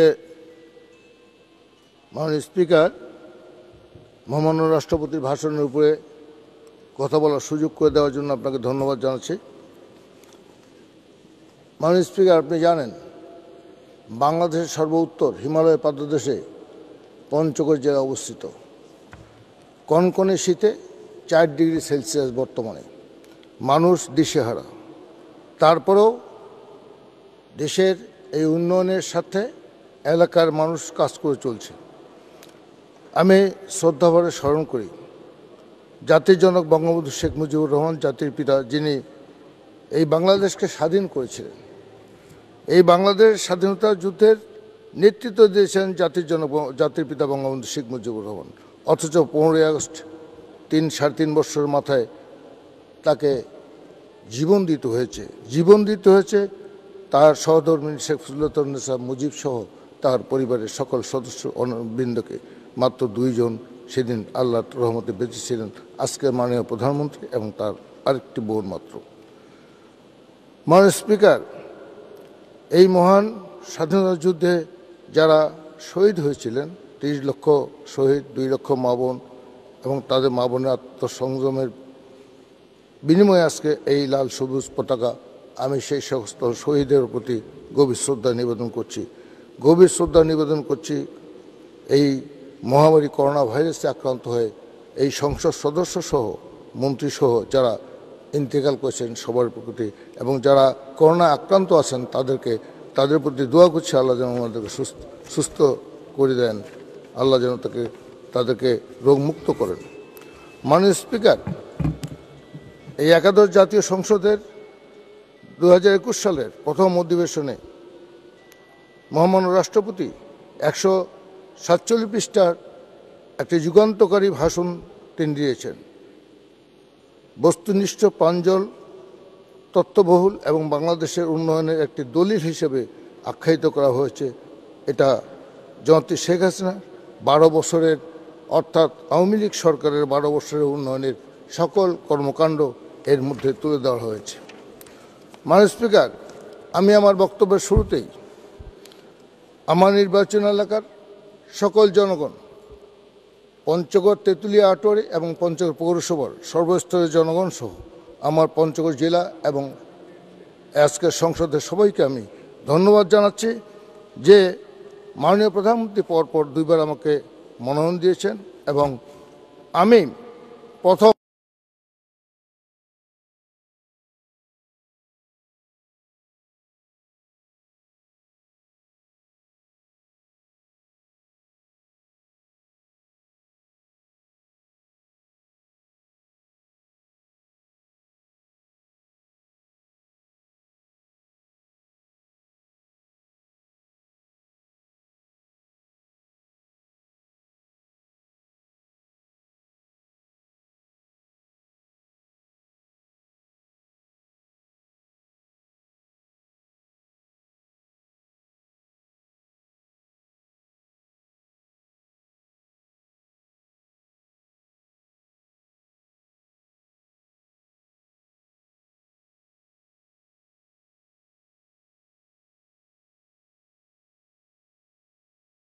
মতো ছাব্বিশ হাজার বেশি বেসরকারি রেজিস্টার্ড স্কুলকে তিনি সরকারি করেছেন। জাতীয়করণ করেছেন আবার প্রায় এক লক্ষ পাঁচ হাজার শিক্ষককে জাতীয়করণ করেছেন। এটার থেকে শুরু হয়েছে বাংলাদেশের উন্নয়নের রোল মডেলের ধারাবাহিক এটা অবস্থান তৈরি হয়েছে। মাননীয় স্পিকার আজকে ডিজিটাল ক্লাসরুম তৈরি হয়েছে। এ পর্যন্ত প্রায় উনষাট হাজার ল্যাপটপ বিভিন্ন স্কুলে দেওয়া হয়েছে। উনষাট হাজার প্রজেক্টর দেওয়া হয়েছে এবং প্রাথমিক শিক্ষাকে আজকে ঢেলে সাজানো হয়েছে, আধুনিকীকরণ করা হচ্ছে মাননীয় স্পিকার। মাননীয় স্পিকার, ওয়াশ ব্লক, যেটি কখনোই আমাদের গ্রাম্য স্কুলগুলোতে ছিল না, প্রায় উনচল্লিশ আটত্রিশ হাজার ওয়াশ ব্লক ইতিমধ্যে নির্মিত হয়েছে এবং সুপেয় পানীয় ব্যবস্থা ইতিমধ্যে জমাত শেখ হাসিনা করেছেন। মাননীয় স্পিকার, দ্বিতীয় ধাপে আজকে বলতে হয়, বাংলাদেশ ক্ষুধা দরিদ্র মুক্ত একটা দেশ আজকে জনতে শেখ হাসিনার নেতৃত্বে আমরা এগিয়ে যাচ্ছি। আপনি জানেন, বাংলাদেশ যখন পাকিস্তান বলে সাড়ে সাত কোটি মানুষ ছিল, তখনও কিন্তু খাদ্যাভাব ছিল। আজকে মানুষের সংখ্যা চোদ্দ কোটি, পনেরো কোটি ছাড়িয়ে গেছে। জমির পরিমাণ কমছে। কিন্তু মাননীয় প্রধানমন্ত্রী জননেত্রী শেখ হাসিনার নেতৃত্বে কৃষককে প্রণোদনা দিয়ে এবং কৃষকের আধুনিক চাষাবাদের ব্যবস্থা করে দিয়ে আজকে কৃষকরা উন্নত চাষাবাদ করে খাদ্যে সংসমতা অর্জনে এগিয়ে যাচ্ছেন। মাননীয় স্পিকার, মাননীয় প্রধানমন্ত্রীকে আমি বলতে চাই, আমি নিজেও কৃষক, আমার এলাকার গরিব মানুষের জন্য তিনি ওই পঞ্চগড় একটি উঁচু এলাকা, সেই লক্ষ্যে উনিশশো ছিয়ানব্বই দু সালে যখন জয়ন্তী শেখ হাসিনা ক্ষমতায় ছিলেন মাননীয় প্রধানমন্ত্রী, তখন তিনি পঞ্চগড় গিয়েছিলেন। সেখানকার পরিবেশ পরিস্থিতি দেখে তিনি বলেছিলেন, এখানে চা উৎপাদন করা সম্ভব। আজকে সমতল ভূমিতে হাজার হাজার হেক্টর জমিতে আজকে চা চাষ হচ্ছে মাননীয় স্পিকার। মাননীয় প্রধানমন্ত্রীর উদ্যোগেই এই চাষ, চা চাষ। আজকে দেশে শুধু নয়, বিদেশেও চা- চা রপ্তানি হচ্ছে। কিন্তু অত্যন্ত দুঃখের বিষয় এটা, চায়ের কোনো রেট চায়ের কোনো কেজি প্রতি দর ঠিক থাকে না। মাননীয় স্পিকার গরিব মানুষ, প্রান্তিক চাষিরা সঠিকভাবে চায়ের দাম পায় না। সে কারণে মাননীয় প্রধানমন্ত্রীর কাছে আমার বিনীত অনুরোধ, চায়ের একটি নির্দিষ্ট দাম নির্ধারণ করে এই যারা মনোপলি ব্যবসা করতে যাচ্ছে, তাদেরকে যেন অন্তত পক্ষে এই গরিব মানুষদেরকে চা চাষের যারা আজকে চলছে, তাদেরকে যেন আমরা কোনোভাবেই নিরুৎসাহিত না করি। মাননীয় স্পিকার আপনি জানেন, আশ্রম প্রকল্প দুই দুইয়ের অধীনে দেশে যাদের ভূমি নেই, বাড়ি নেই, তাদেরকে তিন লক্ষ পঁচাশি হাজার পাঁচশোটি ঘর নির্মাণ করে দিচ্ছেন, বাড়ি নির্মাণ করে দিচ্ছেন। ইতিমধ্যে মাননীয় প্রধানমন্ত্রী সত্তর হাজার বাড়ি উদ্বোধন করেছেন এবং গরিব মানুষের হাতে হস্তান্তর করেছেন। এই সত্তর হাজার মানুষ, পরিবার, তারা একটা ঠিকানা পেয়েছে মাননীয় স্পিকার। গরিব মানুষের যার ভিটে নেই, বাড়ি নেই, তাদেরকে বাড়ি দেওয়া হয়েছে। এটা একটা আশ্চর্য ঘটনা, মাননীয় স্পিকার। আজকে তিন লক্ষ অধিক মানুষকে এই আশ্রম প্রকল্পের অধীনে এই আশ্রমে এই ঘর বাড়ি দেওয়া হবে। মাননীয় এই জন্য জমাতে শেখ হাসিনাকে ধন্যবাদ জানাচ্ছি। বিদ্যুতে আজকে আমরা স্বয়ংসম্পূর্ণ। মাননীয় স্পিকার, আজকে আমার নির্বাচন এলাকার সকল উপজেলায় আমরা বিদ্যুতের স্বয়ংসম্পূর্ণতা অর্জন করেছি। প্রতিটি বাড়িতে আমরা বিদ্যুৎ দিতে সক্ষম হয়েছি। মাননীয় স্পিকার মাননীয় প্রধানমন্ত্রী এই করোনা বৈশ্বিক কারণে দেশ এবং জাতিকে যেভাবে সাহস জুগিয়েছেন আমরা অভিভূত হয়েছি। মাননীয় স্পিকার আমাকে দুইটা মিনিট দেওয়া হোক আমি অনুরোধ জি দুই মিনিট। মাননীয় স্পিকার আপনি জানেন উত্তরাঞ্চলের মানুষ সবাই কৃষক। আমাদের চিনিকল সমূহকে পনেরোটি চিনিকলের মধ্যে ছয়টি চিনিকলকে বন্ধ করা হয়েছে। এই বন্ধকৃত চিনিকলে আধুনিকরণ করে আবার যেন নতুন করে চালু করা হয়, মাননীয় প্রধানমন্ত্রীর কাছে এটা বিনীত অনুরোধ করব। আজকে আমি এটুকু বলতে পারি, মাননীয় স্পিকার, আমার পঞ্চগড়ে এই চা বাগান এবং পঞ্চগড়ে মানুষের কোনো অসুখ বিসুখ হলে, কোনো অ্যাক্সিডেন্ট হলে তাহলে রংপুরে আনতে হয়। একটি মানুষকে রংপুরে পৌঁছার আগে রাস্তায় মৃত্যুবরণ করে। সেই কারণে পঞ্চগড় একটি মেডিকেল কলেজ স্থাপন করা অত্যন্ত গুরুত্বপূর্ণ এবং এটিকে জনগণের দাবি, এটা এলাকার দাবি, এটা যুগের দাবি। সে কারণে মাননীয় প্রধানমন্ত্রীর কাছে অনুরোধ করব, পঞ্চগড় যেন একটি মেডিকেল কলেজ স্থাপন করা হয় এবং একটি বিশ্ববিদ্যালয় স্থাপন করা হয়। বাংলাদেশের সর্ব উত্তরে এই পঞ্চগড়ের মানুষের শিক্ষার মানটাকে যেন আমরা উন্নত করতে পারি। মাননীয় প্রধানমন্ত্রী জনতি শেখ হাসিনাকে আমি একটু অনুরোধ করব পঞ্চগড় পৌরসভা দীর্ঘদিন থেকে বিএনপির অধীনে ছিল। এইবারই প্রথম, গত তিরিশ তারিখে নির্বাচনে নৌকা মার্কার বিজয় হয়েছে এবং সেখানকার মানুষ এই দীর্ঘ পঞ্চাশ বছর পরে জন- জনতি শেখ হাসিনার হাতে এই নৌকার পৌরসভাটি তিনি তাকে আমরা উপহার দিয়েছি। এই জন্য মাননীয় প্রধানমন্ত্রীর কাছে অনুরোধ করব, পঞ্চগড়ের পৌরসভার উন্নয়নের জন্য তিনি যেন আমাদেরকে সহযোগিতা করেন, আমাদের মেয়রকে সহযোগিতা করেন। এই বলে এবং সবার সুস্বাস্থ্য ও দীর্ঘ কামনা করে আমি আমার বক্তব্য শেষ করছি। আল্লাহ হাফেজ। জয় বাংলা জয় বঙ্গবন্ধু। ধন্যবাদ সবাইকে। ধন্যবাদ মাননীয় সদস্য। আমি এখন মাননীয় সদস্য বেগম আদিবা আঞ্জুম মিতা মহিলা আসন সাঁত্রিশকে তার বক্তব্য রাখার আহ্বান জানাচ্ছি। আপনার সময় আট মিনিট। বিসমিল্লাহ রহমানের রাহিম। মাননীয় স্পিকার আপনাকে ধন্যবাদ। একাদশ জাতীয় সংসদের দুই দুই সালে প্রথম অধিবেশনে মহামান্য রাষ্ট্রপতির ভাষণের উপর আনিত ধন্যবাদ প্রস্তাবের আলোচনায় আমার জন্য অত্যন্ত আনন্দ ও গৌরব- গৌরবময় বিষয়। কারণ স্বাধীন বাংলাদেশের স্থাপিত বাঙালি জাতির অবিসংবাদিত নেতা, জাতির পিতা বঙ্গবন্ধু শেখ মুজিবুর রহমানের শততম শুভ জন্মবার্ষিকীর বছর। জাতীয় সংসদে বক্তব্য প্রদানের সুযোগ পাই আমি পরম করুণাময় আল্লাহর কাছে শুক্রিয়া আদায় করছি। এই সুযোগে আমি আপনাকে এবং আপনার মাধ্যমে মাননীয় সংসদ সদস্যবৃন্দ ও প্রিয় রাষ্ট্রবাসীকে, বাসীকে ইংরেজি নববর্ষের শুভেচ্ছা অভিনন্দন জানাচ্ছি। মাননীয় স্পিকার, দুই হাজার বিশ একুশ ইংরেজি সাল বর্ষ ঘোষণা করা এবং করোনাকালীন সময়ে সুষ্ঠুভাবে দেশ পরিচালনা করার জন্য আমার অন্তরের অন্তঃস্থল থেকে কৃতজ্ঞতা ও অভিনন্দন জানাচ্ছি বাংলা জনগণের কাণ্ডারি, বাংলাদেশকে উন্নত, দেশ গড়ার রূপকার মাননীয় প্রধানমন্ত্রী জননেত্রী শেখ হাসিনাকে।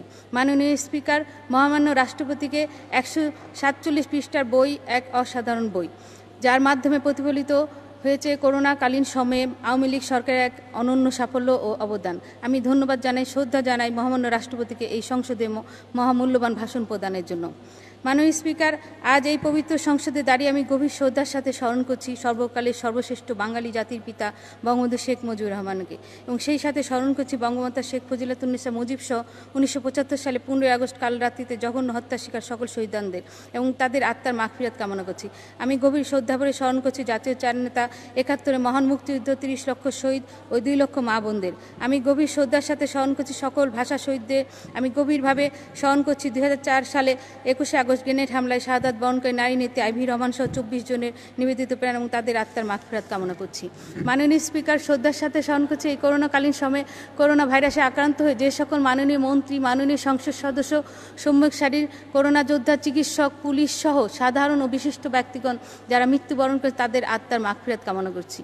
মাননীয় স্পিকার, এই করো- করোনাকালীন সময়ে দলীয় নৌকা প্রতীক নিয়ে দেশের বিভিন্ন পৌরসভায় মেয়র প্রার্থী হিসাবে প্রতিদ্বন্দ্বিতাপূর্ণ নির্বাচনের মধ্যে দিয়ে বিজয়ী হয়ে গণতন্ত্রে মানুষকন্যা মাননীয় প্রধানমন্ত্রী শেখ হাসিনা হাতকে শক্তিশালী করেছে তাদের সবাইকে আন্তরিক অভিনন্দন ও শুভেচ্ছা জানাচ্ছি।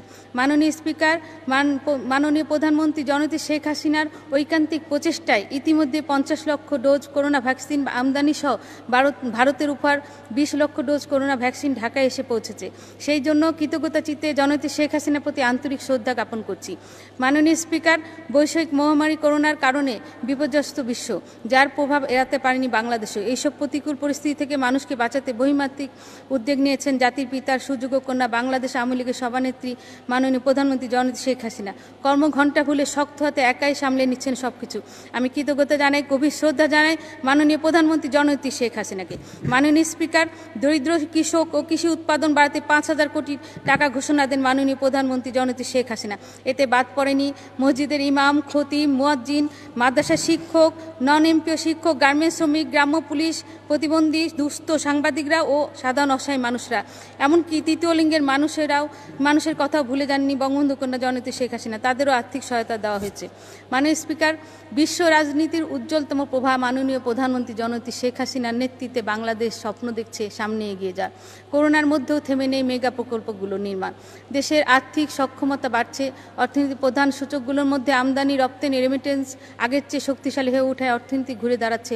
বাংলাদেশের মানুষের সার্বিক মাথাপিছু গড়ায় দুই হাজার চব্বিশ দুই হাজার চব্বিশ ডলার ছড়িয়ে গেছে। মাননীয় স্পিকার মুজিব জন- জন্ম শতবর্ষে সারা দেশে ছিন্নমূল ও দুস্থ নয় লাখ ভূমিহীন গৃহহীন পরিবারকে বঙ্গবন্ধু কন্যা জননেত্রী শেখ হাসিনা বিশেষ ঘর উপহার দিচ্ছেন। মাননীয় প্রধানমন্ত্রী জননেত্রী শেখ হাসিনা এর মধ্যে প্রথম ধাপে চারশো বিরানব্বইটি উপজেলায় সত্তর হাজার ঘর হস্তান্তর করেছেন। আমার রাজশাহী জেলার নয়টি উপজেলায় ছয়শো বিরানব্বইটি বাড়ি উপহার দিয়েছেন জননেত্রী শেখ হাসিনা। রাজশাহী জেলার গোদাগাড়ি উপজেলায় দুইশো আশিটি বাড়ি নির্মাণ দিয়ে নির্মাণ করে দিয়েছেন, যা অন্যান্য রাজশাহী উপজেলা থেকে সংখ্যায় বেশি।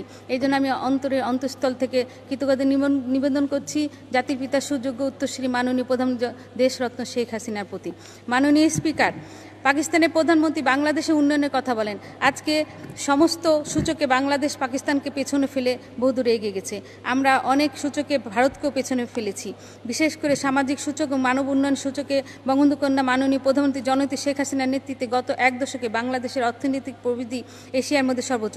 আজকে বিশ্ব খাদ্য সংস্থাকে অবাক অবাক করে দিয়ে শেখ হাসিনার নেতৃত্বে খাদ্য উদ্বৃত্ত দেশ হিসেবে রূপান্তরিত হয়েছে। আমরা সবজি উৎপাদনে বিশ্বে দ্বিতীয় মৎস্য উৎপাদনে চতুর্থ, আলু উৎপাদনে সপ্তম।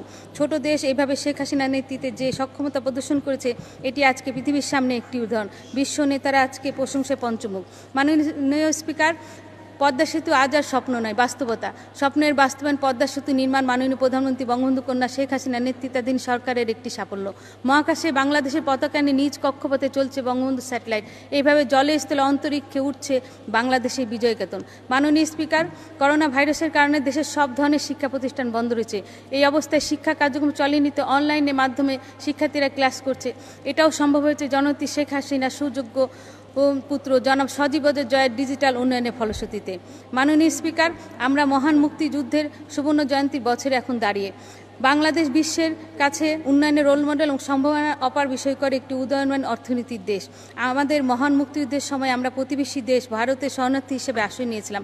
আর এখন বাংলাদেশি হয়ে উঠেছে রোহিঙ্গা শরণার্থীর আশ্রয়স্থল। খাদ্য ও নির্ভয় জীবনযাপনের যোগানদাতা। এর আগে রোহিঙ্গাদের আশ্রয় দেওয়ার বিশ্ব প্রচার মাধ্যমে মাননীয় প্রধানমন্ত্রী শেখ হাসিনাকে মাদার অফ ইউনিটি তথা মানবতার জননী খেতাবে ভূষিত করেছেন।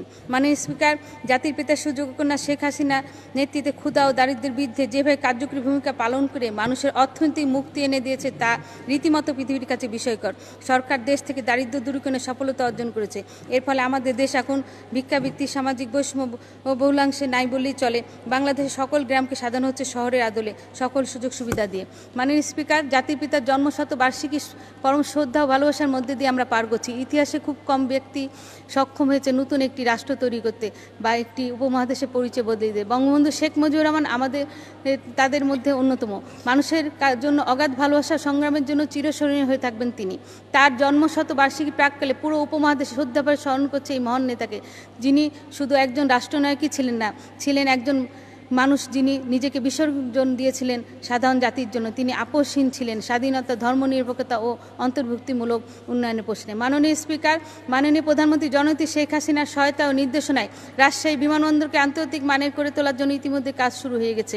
রাজশাহীবাসীর দীর্ঘদিনের দাবি কেন্দ্রীয় শহীদ মিনারে।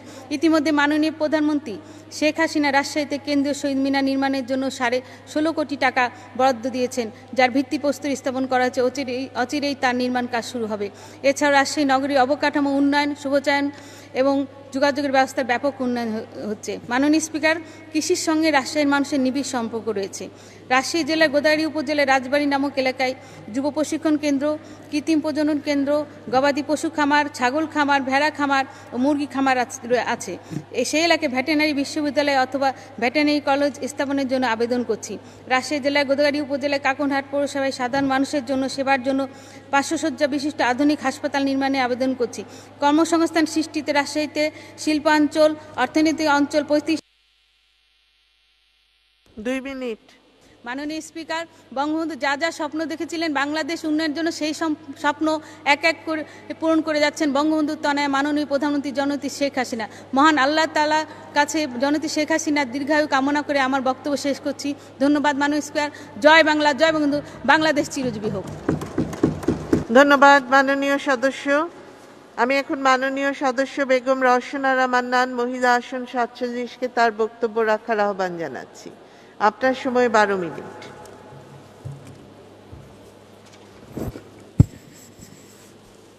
মাননীয় স্পিকার বিসমুল্লাহ রহমান রহিম। মাননীয় স্পিকার, আপনাকে অনেক ধন্যবাদ। দু হাজার একুশ সালের জানুয়ারি মাসে মহামান্য রাষ্ট্রপতির ভাষণের উপর কিছু বলার আগে প্রথমেই শুক্রিয়া আদায় করছি মহান আল্লাহ তালার কাছে, যিনি এই ভয়াবহ মহামারী থেকে রক্ষা করে এই পর্যন্ত আমাদের দু হাজার একুশ সালে এই এই মহান সংসদকে কার্যকরী করতে সহায়তা করেছেন।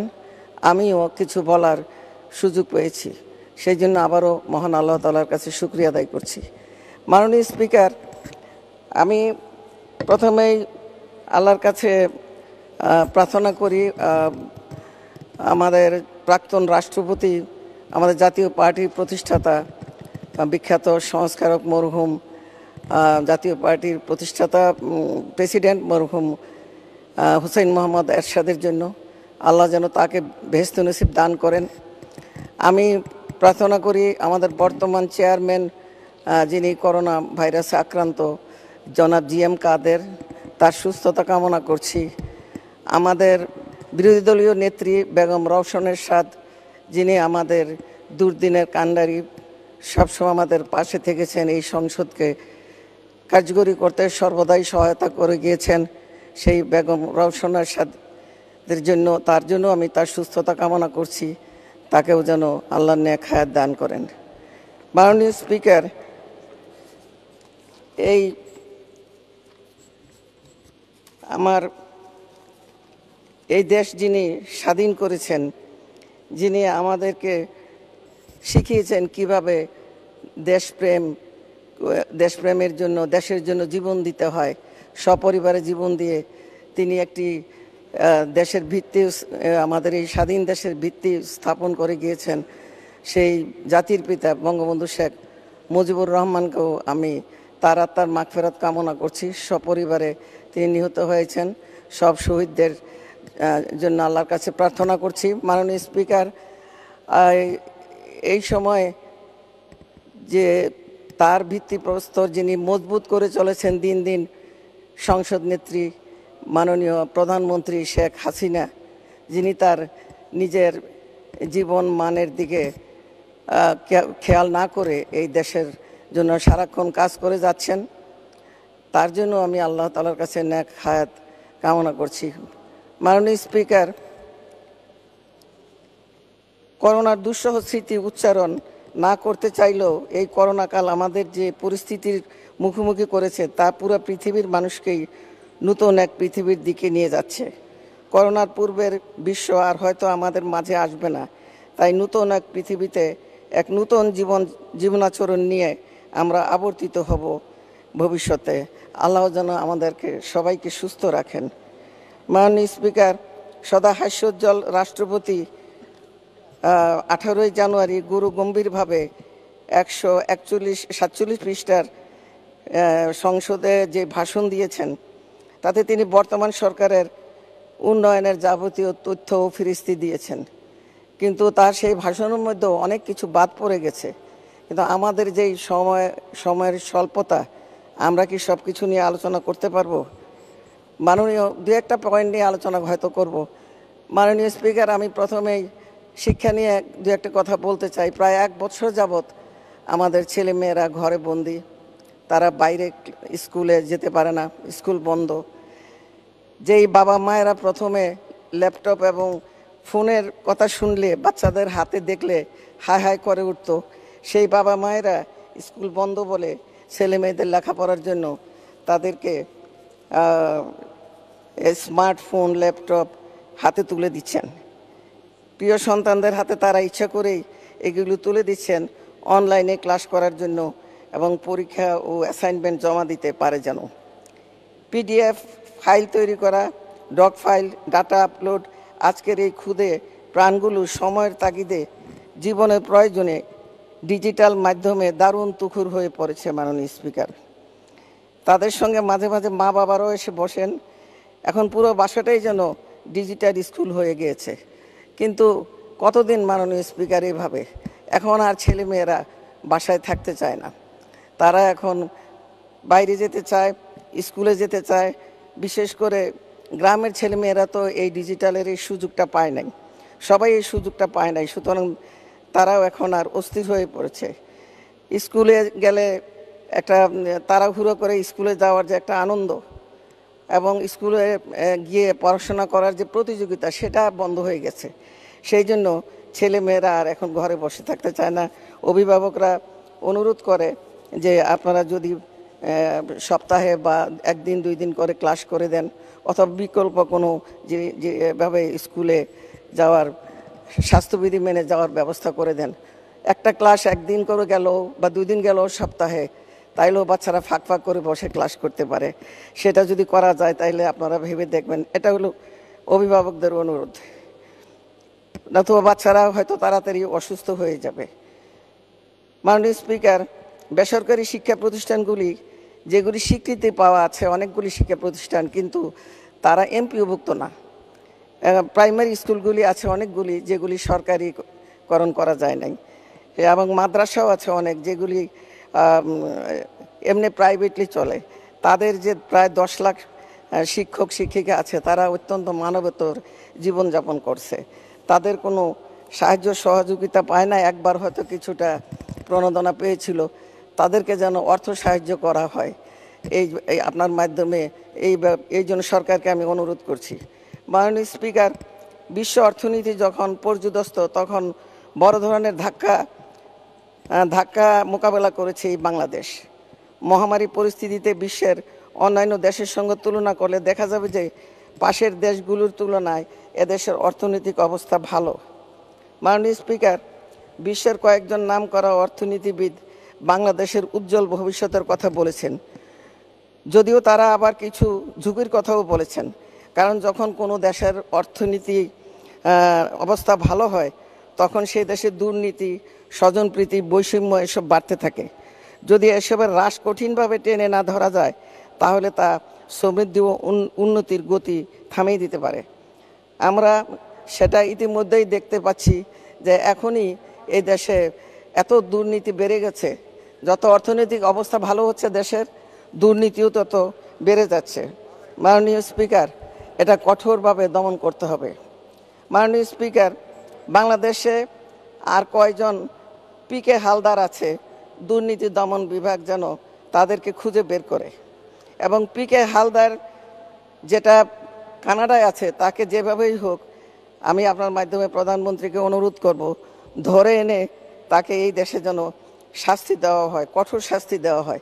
কারণ এত টাকা নিয়ে যদি দেশের বাইরে চলে যেতে পারে, তাও আবার বান্ধবীদেরকে নিয়ে, তাইলে এটা যদি না আনা হয় এবং শাস্তি না দেওয়া হয় ভবিষ্যতে একটা উদাহরণ হয়ে থাকবে মাননীয় স্পিকার। অনেকেই এইভাবে টাকা পয়সা নিয়ে বিদেশে চলে যাবে। এটাকে মাননীয় যদি মাননীয় প্রধানমন্ত্রী যদি ইন্টারপোলের মাধ্যমে চেষ্টা করে, কানাডা থেকে তাকে এনে দৃষ্টান্তমূলক শাস্তি দেওয়া যাবে মাননীয় স্পিকার। আমি ভবিষ্যতে এই ধরনের আর পিকে হালদার তাইলে তৈরি হবে না। এবং অনেক মেয়েরা এখন পিকে হালদারের বান্ধবী না হতে পেরে আফসোস করছে। কারণ এত টাকা তারা পেয়েছে। সুতরাং এগুলি বন্ধ করতে হবে মাননীয় স্পিকার। এবং হলমার্কের এমডি জেলখানায়, কাশিমপুর জেলখানায় তার বান্ধবীকে নিয়ে যেভাবে কালকে গত রাত্রেই মাননীয় স্পিকার টিভিতে দেখাইছে টিভি টোয়েন্টি ফোর যে কীভাবে সে ভিতরে ফ্রিলি ঘোরাফেরা করছে, আলাপ করছে। মনে হয় যেন একটা বিয়ে বাড়ি। মাননীয় স্পিকার, এগুলি বন্ধ করতে হবে। সে টাকা দিয়ে হাজার হাজার, লক্ষ লক্ষ টাকা খরচ করে এগুলি অ্যারেঞ্জমেন্ট করেছে ওইখানে আর এই টাকাগুলি যদি নিজের হতো তাহলেও একটা কথা ছিল। কিন্তু এই টাকাগুলি ব্যাংকের লোন ব্যাংকের টাকাগুলি নিয়ে কোটি কোটি টাকা তারা এইভাবে খরচ করছে বান্ধবীদের পিছনে। এর সুষ্ঠু বিচার হওয়া দরকার মাননীয় স্পিকার নতুবা বন্ধ হবে না দুর্নীতি। ব্যাংকের দুর্নীতিও বন্ধ হবে না, মানুষের দুর্নীতিও কমবে না মাননীয় স্পিকার মানুষ তো চলেই যাবে একদিন। কিন্তু এই কোভিড পিরিয়ডে মানুষ জন্মালে তার মৃত্যু হবে। কিন্তু এই কোভিড পিরিয়ডে মৃত্যু যেন আশেপাশে ঘুরঘুর করছে, যে কোনো সময় ঢুকে পড়বে। তারপরেও মানুষের কোনো ভয় নাই। মানুষ আল্লাহ খুদাকে মানে না। মানুষ যত পারছে দুর্নীতি করছে, এগুলি বন্ধ করতে হবে মাননীয় স্পিকার। মাননীয় স্পিকার, আমার আর এক মিনিট আছে। টাইম পাসেস অন উইংস আমি আমার এলাকার কথা বলছি। কুমিল্লা আমার জন্মস্থান কুমিল্লায় যদি অনেক দিনের কুমিল্লাবাসীর দাবি যে একটা কুমিল্লা, কুমিল্লাকে বিভাগ করা হোক। অনেকগুলি আশেপাশের জেলা আছে, তারা নাকি অনেকেই যেতে চায় না। তো যেই কয়জনই যেতে চায়, তাদেরকে নিয়েও যদি করা হয়, আর যারা যেতে চায় না, তাদেরকে নিয়ে আরেকটা বিভাগ করা হোক। আর যেই কয়জন কুমিল্লার সঙ্গে থাকতে চায়, সেই কয়জনকে নিয়েই একটা বিভাগ করা হোক, মাননীয় স্পিকার। কয়েক বছর আগে মাননীয় প্রধানমন্ত্রী বলেছিলেন উনি কুমিল্লাকে বিভাগ করবেন। কুমিল্লাবাসী তার দিকে, মাননীয় প্রধানমন্ত্রীর সেই কথার দিকে অপেক্ষা করছে মাননীয় স্পিকার। এটা আপনার মাধ্যমে মাননীয় প্রধানমন্ত্রীকে অনুরোধ করছি, যেই কয় জেলা যেতে চায় তাদেরকে নিয়ে যেন এটা করা হয় বিভাগ। কুমিল্লার মাননীয় মন্ত্রীগণ, সংসদ সদস্যগণ এবং আমি, আমরা ব্যক্তিগতভাবে সবাই আমাদের একটাই দাবি। কুমিল্লার মাননীয় সংসদ সদস্য হাজিব আকম বাহাউদ্দিন এটা নিয়ে অনেক কিছু করে চলেছেন আন্দোলন। কুমিল্লাকে যেন বিভাগ করা হয় মাননীয় স্পিকার। কুমিল্লার মেডিকেল বিশ্ববিদ্যালয় একটা আছে, কিন্তু এটা কুমিল্লার ঘনবসতি, এটা ছোট হয়ে গেছে। এটাকে একটা মেডিকেল বিশ্ববিদ্যালয় করার জন্য কুমিল্লাবাসীদের দাবি। এবং শিক্ষা, সংস্কৃতি, ঐতিহ্য, কুমিল্লা অনেক বিখ্যাত মাননীয় স্পিকার। কুমিল্লার একটা প্রযুক্তি বিজ্ঞান বা প্রযুক্তি বিশ্ববিদ্যালয় নাই। একটা বড় ধরনের কৃষি বিশ্ববিদ্যালয়ও নাই। এগুলি কুমিল্লায় করা দরকার মাননীয় স্পিকার। এগুলি হলো কুমিল্লাবাসীর অনেক দিনের দাবি। মাননীয় স্পিকার এই দাবিগুলি আপনার মাধ্যমে আমি জানাচ্ছি। মাননীয় স্পিকার স্বাস্থ্যের কথা বলব যদি দু এক মিনিট সময় দেন। বছর জুড়ে এই বিচ্ছিন্ন ও বিপর্যস্ত বিশ্ব। এখন মানুষ স্বাস্থ্য ছাড়া আর বেঁচে থাকার দুই মিনিট মাননীয় সদস্য। এখন মানুষ শুধু চায় কীভাবে সুস্থভাবে বেঁচে থাকবে। এবং মানুষের এখন একমাত্র দরকার হইল স্বাস্থ্য এবং সুস্থতা। এই নিয়েই মানুষ বেশি চিন্তা ভাবনা করে। সেই পুরনো বছরের অভিজ্ঞতা থেকে শিক্ষা নিয়ে বাংলাদেশের স্বাস্থ্য খাতকেও অর্জন করতে হবে রেজিলিয়েন্স। মাননীয় স্পিকার কোভিড উনিশ আমাদেরকে অনেক ক্ষতি করলেও একটা উপকার করেছে। আমাদের স্বাস্থ্য ব্যবস্থার ফল্ট লাইনগুলিকে এই মহামারী আঙ্গুল দিয়ে দেখিয়ে দিয়েছে। মানুষ দেখেছে এদেশের স্বাস্থ্য ব্যবস্থার দুর্বলতা কোথায় এবং সক্ষমতা কি? ভবিষ্যতের জন্য কি চাই? একটা কথা আছে, ভুল বলে কিছু নেই। যা আছে তা হলো শিক্ষা। মাননীয় স্বাস্থ্যমন্ত্রী আগের চাইতে স্বাস্থ্য সেবার মান বাড়াতে চেষ্টা করছেন এবং কিছুটা সফলও হয়েছেন। তিনি অতীত থেকে শিক্ষা নিয়ে স্বাস্থ্য মন্ত্রণালয়ের যেসব কুটিপতি পিয়ন, যেসব কুটিপতি স্টাফরা আছে, তিনি তাদেরকে বিদায় করে এখন নূতন স্বাস্থ্যসেবার জন্য নূতন লোকজন দিয়েছেন। সুতরাং স্বাস্থ্যসেবা এখন মোটামুটি আগের চাইতে ভালো হবে, এটাই আশা করি। মাননীয় স্পিকার, নারীদের নিয়ে দু একটা কথা বলতে চাই। এদেশের নারী শাসকদের সুনাম সারা পৃথিবী জুড়ে। বহু বছর ধরে নারীরা সুনামের সঙ্গে দেশ চালাচ্ছেন। তাই বিজ্ঞজনেরা মনে করছেন, ঘরে বাইরে নারী পুরুষের সমান ভাগের সব কাজে অংশগ্রহণ করলে সামগ্রিকভাবে নারীর মর্যাদা বৃদ্ধি পাবে। নারীর সম্মান, মর্যাদা হলে পারিবারিক, সামাজিক সহিংসতা ও নির্যাতন কমে গিয়ে সামাজিক ভারসাম্য রক্ষা হবে। এই জন্য সবার আগে নারীর গৃহস্থালী ও সেবামূলক কাজের স্বীকৃতি দিতে হবে। সামাজিক ও রাষ্ট্রীয়ভাবে নারীর কাজের আনুষ্ঠানিক স্বীকৃতি না দিলে লিঙ্গের সমতা কখনো আশা করা যায় না। মাননীয় স্পিকার এখনও এদেশের নারীরা বা নিগৃহীত হয় অফিস আদালতে। সুতরাং যে দেশের নারী সারা পৃথিবীতে যে দেশের এই এক মিনিট জি। মাননীয় যে দেশের প্রধানমন্ত্রী সারা পৃথিবী জুড়ে আলোড়ন সৃষ্টি করেছেন নারীর ক্ষমতায়নে। সেই দেশের নারীদের জন্য আরও অনেক কিছু করা উচিত মাননীয় স্পিকার। এদেশের প্রধানমন্ত্রীর চিন্তা, চেতনা এবং তার ভবিষ্যতের প্রেরণায় আমাদের যে তিনি যেভাবে কাজ করে যাচ্ছেন, তিনি আমাদের কাছে, এ দেশবাসীর কাছে আজীবন প্রেরণা হয়ে থাকবেন।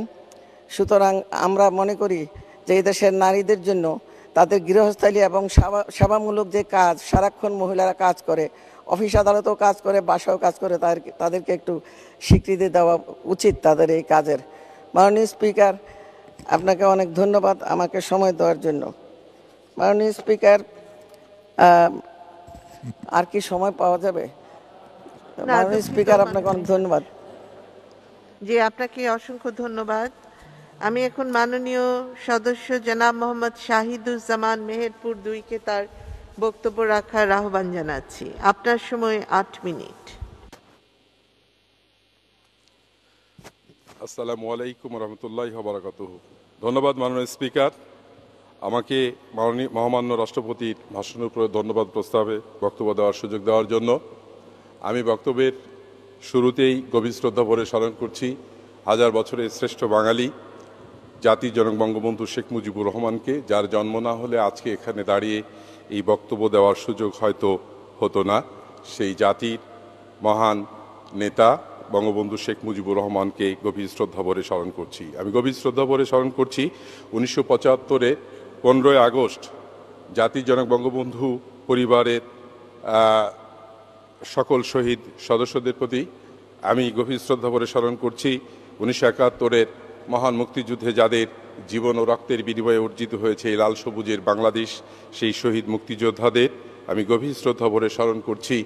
জাতীয় চার নেতা যারা মেহেরপুরের মাটিতে ঐতিহাসিক সতেরোই এপ্রিলে অস্থায়ী সরকারের মন্ত্রিপরিষদের সদস্য হিসাবে শপথ গ্রহণ করেছিলেন, সেই জাতীয় চার নেতাকে এবং উনিশশো থেকে আজ অবধি যারা এই দেশ ও মাটির জন্য জীবন দিয়ে মাটিকে সমৃদ্ধ করে গেছেন, সেই সমস্ত শহীদদের আত্মার মাগফেরাত কামনা করেই আমি আমার বক্তব্য শুরু করছি। মাননীয় স্পিকার, মহামান্য রাষ্ট্রপতি, একশো সাতচল্লিশ পৃষ্ঠার বক্তব্যে বর্তমান সরকারের সকল সফলতা আর সাথে উন্নয়ন এবং ভবিষ্যৎ পরিকল্পনার কথা বিস্তৃতভাবে আলোচনা করেছেন। মাননীয় স্পিকার, আজকে আমাদের বর্তমান প্রধানমন্ত্রী জননেত্রী শেখ হাসিনার সুদৃঢ় নেতৃত্বের কারণেই আজকে বিশ্বব্যাপী যে করোনা পরিস্থিতির কারণে যে দুর্যোগ সৃষ্টি হয়েছে সেই দুর্যোগ মোকাবেলা করা সম্ভব হয়েছে। সারা বিশ্বের মধ্যে বাংলাদেশে আজকে করোনা পরিস্থিতি কিছুটা নিয়ন্ত্রণে রয়েছে মাননীয় মাননীয় প্রধানমন্ত্রী সুদৃঢ় নেতৃত্বের কারণে। মাননীয় মাননীয় স্পিকার, এই আটই মার্চ থেকে শুরু করে আজ অবধি বাংলাদেশের করোনা পরিস্থিতি মোকাবেলা করতে যে অসংখ্য নেতাকর্মী করোনা পরিস্থিতিতে পরিস্থিতির কারণে জীবন দিতে হয়েছে। অসংখ্য সংসদ সদস্য সহ জাতীয় নেতৃবৃন্দ আজকে এই পৃথিবী ছেড়ে চলে গেছে। অসংখ্য সংসদ সদস্য ইতিমধ্যেই এই করোনা পরিস্থিতির মধ্যেও মোকাবেলা করতে যে সপরিবারে আক্রান্ত হয়েছে। আমি সকলের প্রতি সমবেদন জ্ঞাপন করছি। মাননীয় স্পিকার, তারপরেও আমরা জননেত্রী শেখ হাসিনার নেতৃত্বে তার নির্দেশে প্রতিটি কার্যক্রম বাস্তবায়নের জন্য পথে প্রান্তরে কাজ করে যাচ্ছি। মাননীয় প্রধানমন্ত্রীর সুযোগ্য নেতৃত্বে এই করোনা পরিস্থিতিকে মোকাবেলা করবার জন্য আমাদের প্রত্যেকটা অঞ্চলে, প্রত্যেকটা শ্রেণি পেশার মানুষের মাঝে যে প্রণোদনার ব্যবস্থা করা হয়েছে, ত্রাণ সহায়তা দেওয়া হয়েছে, আজকে পৃথিবীব্যাপী তা আজকে সুনাম অর্জন করেছে। মাননীয় প্রধানমন্ত্রী সারা বিশ্বে আজকে তার জায়গা করে নিয়েছেন। বাংলাদেশের ভাবমূর্তি উজ্জ্বল হয়েছে বিশ্ব দরবারে। মাননীয় স্পিকার আমরা এই করোনা পরিস্থিতির মধ্যেও মাননীয় প্রধানমন্ত্রীর নেতৃত্বে বাংলাদেশের সকল উন্নয়নের ধারা অব্যাহত রয়েছে। আজকে আমরা আমাদের দেশের মাথাপিছু গড় আয় দুই হাজার চব্বিশ ডলারে উন্নীত হয়েছে। একচল্লিশ হাজার মিলিয়ন ডলার আজকে রিজার্ভ রয়েছে। আজকে বাংলাদেশের মেকআপ প্রকল্পগুলো আজকে এই করোনা পরিস্থিতির মধ্যেও বাস্তবায়িত হচ্ছে। মাননীয় স্পিকার, আজকে পদ্মা সেতু, Karnaphuli tunnel Dhaka metro rail সহ বাংলাদেশের আন্ত জেলা মহাসড়কগুলিকেও আজকে প্রশস্তকরণের কাজ এই করোনা পরিস্থিতির মধ্যেও চলমান রয়েছে। মাননীয় স্পিকার, মাননীয় প্রধানমন্ত্রীর সুদৃঢ় নেতৃত্বের কারণেই এটি সম্ভব হয়েছে। ইতিমধ্যেই গত সপ্তাহে মাননীয় প্রধানমন্ত্রী বাংলাদেশের সত্তর হাজার গৃহহীন এবং ভূমিহীন মানুষের মাঝে বিশ্ব মানবতার মা, তিনি আজকে এই গৃহহীনদের মাঝে গৃহ হস্তান্তর করেছেন। ইতিমধ্যেই তিন লক্ষ মানুষের ঘর তৈরি করে দেওয়া হয়েছে। এই মুজিব বর্ষে আরও আট লক্ষ ঘর তৈরি করে দেওয়ার পরিকল্পনা মাননীয় প্রধানমন্ত্রীর সক্রিয় বিবেচনায় রয়েছে। মাননীয় স্পিকার, এটি একটি বিশ্ব দরবারে নজিরবিহীন ঘটনা যে একটি মানুষের পক্ষে, একটি রাষ্ট্রপ্রধানের পক্ষে এতগুলি গৃহহীন মানুষকে একসাথে এই গৃহ প্রদান করা, এটা একটি আন্তর্জাতিকভাবে একটি বিরল ঘটনা বিরল ঘটনা। মাননীয় স্পিকার, আমরা ইতিমধ্যে দেখেছি, এই করোনা পরিস্থিতির মধ্যেও শিক্ষা খাতে আমরা এই জানুয়ারির প্রথম দিনেই আমরা আমাদের শিক্ষার্থীদের হাতে নতুন বই পৌঁছে দিতে পেরেছি। এই করোনা পরিস্থিতির মধ্যে শিক্ষাঙ্গনগুলো বন্ধ থাকলেও অনলাইনের মাধ্যমে বিভিন্ন শিক্ষা প্রতিষ্ঠান আজকে শিক্ষা কার্যক্রম চালিয়ে যাচ্ছে। মাননীয় প্রধানমন্ত্রীর সুযোগ্য সন্তান এবং মাননীয় প্রধানমন্ত্রীর আইসিটি বিষয়ক উপদেষ্টা সজীব জয়ের আজকের এই সফলতার কারণে বাংলাদেশের এই অনলাইন এর মাধ্যমে আমাদের কোমলমতি শিশুরা তাদের শিক্ষা কার্যক্রম চালিয়ে নিতে পারছে। মাননীয় স্পিকার, আজকে বাংলাদেশ উন্নয়নের দ্বার প্রান্তে দুই হাজার একুশ সাল এর যে মধ্য আয়ের দেশ এবং দুই হাজার একচল্লিশ সালে উন্নত সমৃদ্ধ বাংলাদেশ গড়বার যে প্রত্যয় নিয়ে, মহাপরিকল্পনা নিয়ে বর্তমান সরকার এগিয়ে যাচ্ছে, তার প্রতিটি পদক্ষেপে বাংলাদেশে এক বাস্তবায়নের পথে। আজকে বাংলাদেশ যখন উন্নয়নের পথে এগিয়ে যাচ্ছে, তখন আজকে বিরোধী দল ঘরে বসে আজকে এই সরকারের ভালো কাজগুলোকেও তারা সমালোচনার মুখে দাঁড় করাতে চেষ্টা করছে। মাননীয় স্পিকার, আমরা গভীরভাবে লক্ষ্য করেছি এই করোনা পরিস্থিতিতে যখন মাননীয় প্রধানমন্ত্রী জননেত্রী শেখ হাসিনার নেতৃত্বে বাংলাদেশ আওয়ামী লীগের সকল নেতাকর্মী মাঠে ময়দানে কাজ করতে যে করোনা পরিস্থিতির শিকার হয়েছে, ঠিক তখনও এই বিরোধী দলের নেত্রী, বিরোধী দলের বন্ধুরা, সংসদ সদস্যরা সহ ঘরে বসে থেকে টকশোর মাধ্যমে করোনা পরিস্থিতিকে নিয়ে সমালোচনা করবার চেষ্টা করেছে। গতকালকেও একজন সংসদ সদস্য এই মহান সংসদে সরকারের বিরুদ্ধে নানাবিধ অসত্য তথ্য উপস্থাপন করে লন্ডনের একটি প্রেসক্রিপশন এই সংসদে পাঠ করেছেন। আমরা গভীরভাবে লক্ষ্য করেছি, আজকে এই দেশে আইনের শাসন প্রতিষ্ঠিত হয়েছে। আজকে বাংলাদেশের প্রতিটি নাগরিক ঘরে বসে সাংবিধানিক অধিকার ভোগ করছে। বাংলার প্রতিটি দ্বার প্রান্তে আজকে অবকাঠামোগত উন্নয়ন হয়েছে, গ্রামের প্রতিটি পথ প্রান্তরাজ পাকা রাস্তায় ভরে গেছে শিক্ষাঙ্গনগুলোকে আজকে আধুনিক শিক্ষার পরিবেশ তৈরি করে দেওয়ার জন্য অবকাঠামোগত উন্নয়ন হয়েছে। প্রতিটি শিক্ষা প্রতিষ্ঠানে সুউচ্চ দালানে পরিপূর্ণ হয়েছে। ডিজিটাল শিক্ষা ব্যবস্থা বাস্তবায়নের জন্য প্রতিটি শিক্ষা প্রতিষ্ঠানেই আজকে শেখ রাছেল ডিজিটাল ল্যাব স্থাপনের প্রক্রিয়া চলমান রয়েছে। যার ফলশ্রুতিতে আমাদের সন্তানেরা ডিজিটাল শিক্ষায় শিক্ষিত হয়ে দেশে এবং বিদেশের সাথে সহজেই সম্পৃক্ত হতে পারছে এবং নিজেদেরকে বিদেশ সকল মানুষের সাথে যোগাযোগ স্থাপন করে, করতে পারছে। যার কারণে পৃথিবী আজ আমাদের সন্তানদের হাতের মুঠোয় চলে এসেছে। মাননীয় স্পিকার, আমরা এই সরকারের নেতৃত্বে, মাননীয় প্রধানমন্ত্রীর নেতৃত্বে আমরা আমাদের সমাজ থেকে অন্যায় অবিচার দূর করতে পেরেছি, আইনে শাসন প্রতিষ্ঠা করতে পেরেছি। মাননীয় স্পিকার দুই হাজার এক সালে নির্বাচনের পরে আমার নির্বাচনী এলাকায় পাকিস্তানের পাকিস্তানি পাক হানাদার বাহিনী যে নির্মম অত্যাচার ছিল, তাও ছাড়িয়ে গিয়েছিল দুই সালের নির্বাচনের পরে। নানাভাবে আমার আমার নির্বাচনী এলাকায় শুধু বারো জন আওয়ামী লীগের নেতাকর্মীকে দুই হাজার এক সাল থেকে দুই হাজার ছয় সালের মধ্যে হত্যা করা হয়েছিল। বিরোধী দলের বন্ধুরা আজ ভুলে গেছে আচ্ছা আজকে হত্যা গুম এবং খুনের কথা তুলে ধরছেন ওনারা যে হত্যা গুম এবং খুনের মধ্য দিয়েই তাদের সরকার গঠন করেছিলেন তাদের দল গঠন করেছিলেন তা আজকে তারা বেমালুম ভুলে গেছেন। আজকে সংসদে দাঁড়িয়ে সরকারের ভালো কাজগুলোকে তারা ঘুণাক্ষরে স্বীকার করার চেষ্টা করছে না। মাননীয় স্পিকার আমরা আজকে এখানে দাঁড়িয়ে দৃঢ়তার সাথে বলতে চাই জননেত্রী শেখ হাসিনার নেতৃত্বে যে চলমান উন্নয়নের ধারা সেটি অব্যাহত রাখবার জন্য আমরা আওয়ামী লীগের প্রতিটি নেতাকর্মী জননেত্রী শেখ হাসিনার সাথে থেকে এই উন্নয়নের ধারাকে আমরা অব্যাহত রাখতে চাই। মাননীয় স্পিকার, আমার নির্বাচনী এলাকা, মেহেরপুর দুই গাংনী এলাকায় অনেক উন্নয়নমূলক কাজ হয়েছে এই বারো বছরে। আরও কিছু কাজ বাকি রয়ে গেছে। মাননীয় স্পিকার, আমি দীর্ঘদিন ধরে এই সংসদে একটি বিশ্ববিদ্যালয়ের দাবি করেছিলাম। মাননীয় প্রধানমন্ত্রী ইতিমধ্যে মেহেরপুর জেলায় মুজিবনগর নামক একটি বিশ্ববিদ্যালয় করবার ইচ্ছা প্রকাশ করেছেন। আমি মাননীয় স্পিকার আপনার মাধ্যমে মাননীয় প্রধানমন্ত্রীর কাছে বিনয়ের সাথে অনুরোধ করতে চাই, আমার নির্বাচনী এলাকা গাংনীতে চিতলা ফার্মে একটি কৃষি বিশ্ববিদ্যালয় স্থাপনের জন্য আপনার মাধ্যমে আমি জোর দাবি করছি। মাননীয় স্পিকার, আমার কৃষি নির্ভর এলাকা, আজকে অনেক ছোট ছোট খামার গড়ে উঠেছে, মৎস্য খামার আজকে ছাগল গরু থেকে শুরু করে বহু ধরনের, বহুমুখী আজকে খামার গড়ে উঠেছে। এখানে একটি ভেটেনারি স্কুল, কলেজ প্রতিষ্ঠা করা আজকে সময়ের দাবিতে পরিণত হয়েছে। মাননীয় স্পিকার, আপনার মাধ্যমে আমি আমার মমতাময়ী প্রধানমন্ত্রী জননেত্রী শেখ হাসিনার কাছে আজকে অনুরোধ করতে চাই, দাবি রাখতে চাই আমার নির্বাচন এলাকায় একটি ভেটেনারি কলেজ প্রতিষ্ঠা করা হোক। মাননীয় স্পিকার সব শেষে আমি বলতে চাই, এই দেশ জননেত্রী শেখ হাসিনার নেতৃত্বে দুর্বার গতিতে এগিয়ে চলছে এই করোনা পরিস্থিতিকে, পরিস্থিতিকেও তিনি সুদৃঢ় নেতৃত্বের মাধ্যমে সমস্ত দুর্যোগকে মোকাবেলা করে বাংলাদেশের অর্থনীতির চাকাকে সচল রেখেছেন। আমরা তার নেতৃত্বের প্রতি গভীর আস্থা রেখেই আমরা একসাথে চলতে চাই। ওনার সাথে থেকে এ দেশ গড়তে চাই বিশ্ব দরবারে দু হাজার এক সালে, একচল্লিশ সালে আমরা জননেত্রী শেখ হাসিনার নেতৃত্বে একটি উন্নীত সমৃদ্ধ বাংলাদেশ গড়ার প্রত্যাশা রেখে আমি আমার বক্তব্য শেষ করছি।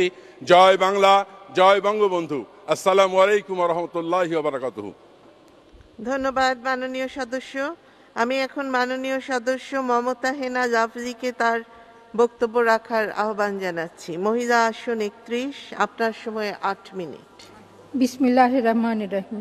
মাননীয় স্পিকার আপনাকে ধন্যবাদ।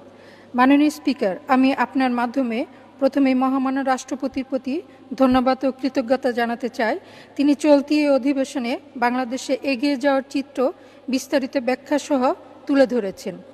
আমি আরও ধন্যবাদ ও কৃতজ্ঞতা জানাই সতেরো কোটি মানুষের আশা, ভরসার আশ্রয়স্থল, আধুনিক বাংলাদেশের উপকার, বিশ্ব বিপন্ন মানবতার মা যিনি সুখী, সমৃদ্ধ, সোনার বাংলা গড়ার মহতি লক্ষ্যে ইতোমধ্যে মধ্যম আয়ের দেশে উত্তরণে সফল রাষ্ট্রনায়ক যার সাহসী নেতৃত্বে দেশ এগিয়ে চলছে অপ্রতিরোধ গতিতে। বাংলাদেশের চারবারের সফল মাননীয় প্রধানমন্ত্রী, সংসদ নেতা জননেত্রী শেখ হাসিনাকে। মাননীয় মাননীয় প্রধানমন্ত্রী শেখ হাসিনা বাঙালি জাতির বিকল্পহীন অবলম্বন। প্রয়াত কবি হাসান হাফিজুর রহমান আশির দশকেই বলেছিলেন, শেখ হাসিনা, আপনিই তো বাংলাদেশ। আমি মাননীয় প্রধানমন্ত্রী জননেত্রী শেখ হাসিনার প্রতি আরও বিশেষভাবে কৃতজ্ঞতা জানাই। জাতির পিতা বঙ্গবন্ধু শেখ মুজিবুর রহমানের জন্ম শতবার্ষিকী মুজিব বর্ষ উপলক্ষে ভূমিহীন ও গৃহহীন পৌনে নয় লাখ দারিদ্র পরিবারকে জমিয়ে ঘর নির্মাণ করে দেওয়ার উদ্যোগ গ্রহণ করেন। যা ইতিমধ্যে প্রায় সত্তর হাজার পরিবারের মাঝে সে জমিয়ে ঘর মুজিব বর্ষের উপহার হিসেবে তিনি হস্তান্তর করেছেন।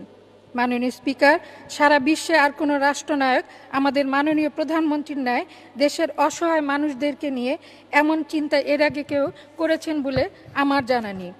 পৃথিবীর ইতিহাসে এটি একটি অনন্য অসাধারণ ঘটনা। তাই জাতির পিতা বঙ্গবন্ধুর সুযোগ্য কন্যা জননেত্রী শেখ হাসিনাকে আবারও অভিনন্দন এবং কৃতজ্ঞতা জ্ঞাপন করছি। আমি ধন্যবাদ জানাই মাননীয় স্পিকার আপনাকে আমাকে মহান জাতীয় সংসদে বক্তব্য প্রদানের সুযোগ করে দেওয়ার জন্য। মাননীয় স্পিকার বক্তব্যের শুরুতেই গভীর শ্রদ্ধা ও কৃতজ্ঞতার সাথে স্মরণ করছি, হাজার বছরের শ্রেষ্ঠ বাঙালি, স্বাধীন বাংলাদেশের মহান স্থপতি, সর্বকালের সর্বশ্রেষ্ঠ বঙ্গবন্ধু শেখ মুজিবুর রহমানকে। সশ্রদ্ধে চিত্ত স্মরণ করছি মহান মুক্তিযোদ্ধা ও অমর শহীদদেরকে। কৃতজ্ঞতার সাথে স্মরণ করছি, জাতীয় চার নেতাকে যারা বঙ্গবন্ধুর পক্ষে মুক্তিযুদ্ধকালীন সরকারের নেতৃত্ব দিয়েছিলেন। আমি আরও পরম শ্রদ্ধাভরে স্মরণ করছি, পঁচাত্তরের পনেরোই আগস্ট ঘাতকের নির্মম বুলেটের আঘাতে শহীদ বঙ্গমাতা বেগম ফজিলাতুন্নেসা মুজিব সহ বঙ্গবন্ধু পরিবারের সকল সদস্যদেরকে। আমি গভীর শ্রদ্ধা নিবেদন করছি বাউন্ন ভাষা আন্দোলন থেকে শুরু করে মহান মুক্তিযুদ্ধ সহ বাংলার সকল স্বাধিকার আন্দোলনে শহীদদের প্রতি। শ্রদ্ধা নিবেদন করছি, একুশে আগস্ট গ্রেনেড হামলা নিহত আইভি রহমান সহ চব্বিশ জন নেতাকর্মীর প্রতি। আমি শ্রদ্ধা নিবেদন করছি মহান জাতীয় সংসদে বিভিন্ন মেয়াদে প্রয়াত সকল মাননীয় সংসদ সদস্যদের প্রতি। মাননীয় স্পিকার, মহান একাদশ জাতীয় সংসদে সকল মাননীয় সংসদ সদস্যকে মুজিব বসের শুভেচ্ছা জানিয়ে আমি কবি শামসুল হকের আমার পরিচয় কবিতার কয়েকটি লান উৎকলন করে আমি বক্তব্য শুরু করছি। আমি জন্মেছি বাংলায়, আমি বাংলায় কথা বলি, আমি বাংলার আলপথ ধরে হাজার বছর চলি। এসেছি বাঙালি রাষ্ট্রভাষার লাল রাজপথ থেকে, এসেছি বাঙালি বঙ্গবন্ধু শেখ মুজিবুর থেকে। মাননীয় স্পিকার, জাতির জনক বঙ্গবন্ধু শেখ মুজিবুর রহমান ছিলেন সর্বশ্রেষ্ঠ বাঙালি। তিনি বাঙালির শ্রেষ্ঠতম জাতীয়তাবাদী নেতা। বাঙালি সম্মিলিত চেতনায়, জাতীয়ত বোধ জাগরণে তিনি পালন করেছেন ঐতিহাসিক ভূমিকা। গণতান্ত্রিক মূল্যবোধ, শোষণ থেকে মুক্তির আশা, অর্থনৈতিক অধিকার প্রতিষ্ঠা ছিল জাতির জনকের জাতীয়তাবাদীর মূল বৈশিষ্ট্য। যা তিনি সঞ্চারিত করে দিয়েছেন বাঙালি চেতনায়। ধীরে ধীরে হয়ে উঠেছিলেন কিশোর মুজিব থেকে বাঙালির অবিসাংবাদিত নেতা বঙ্গবন্ধু শেখ মুজিব।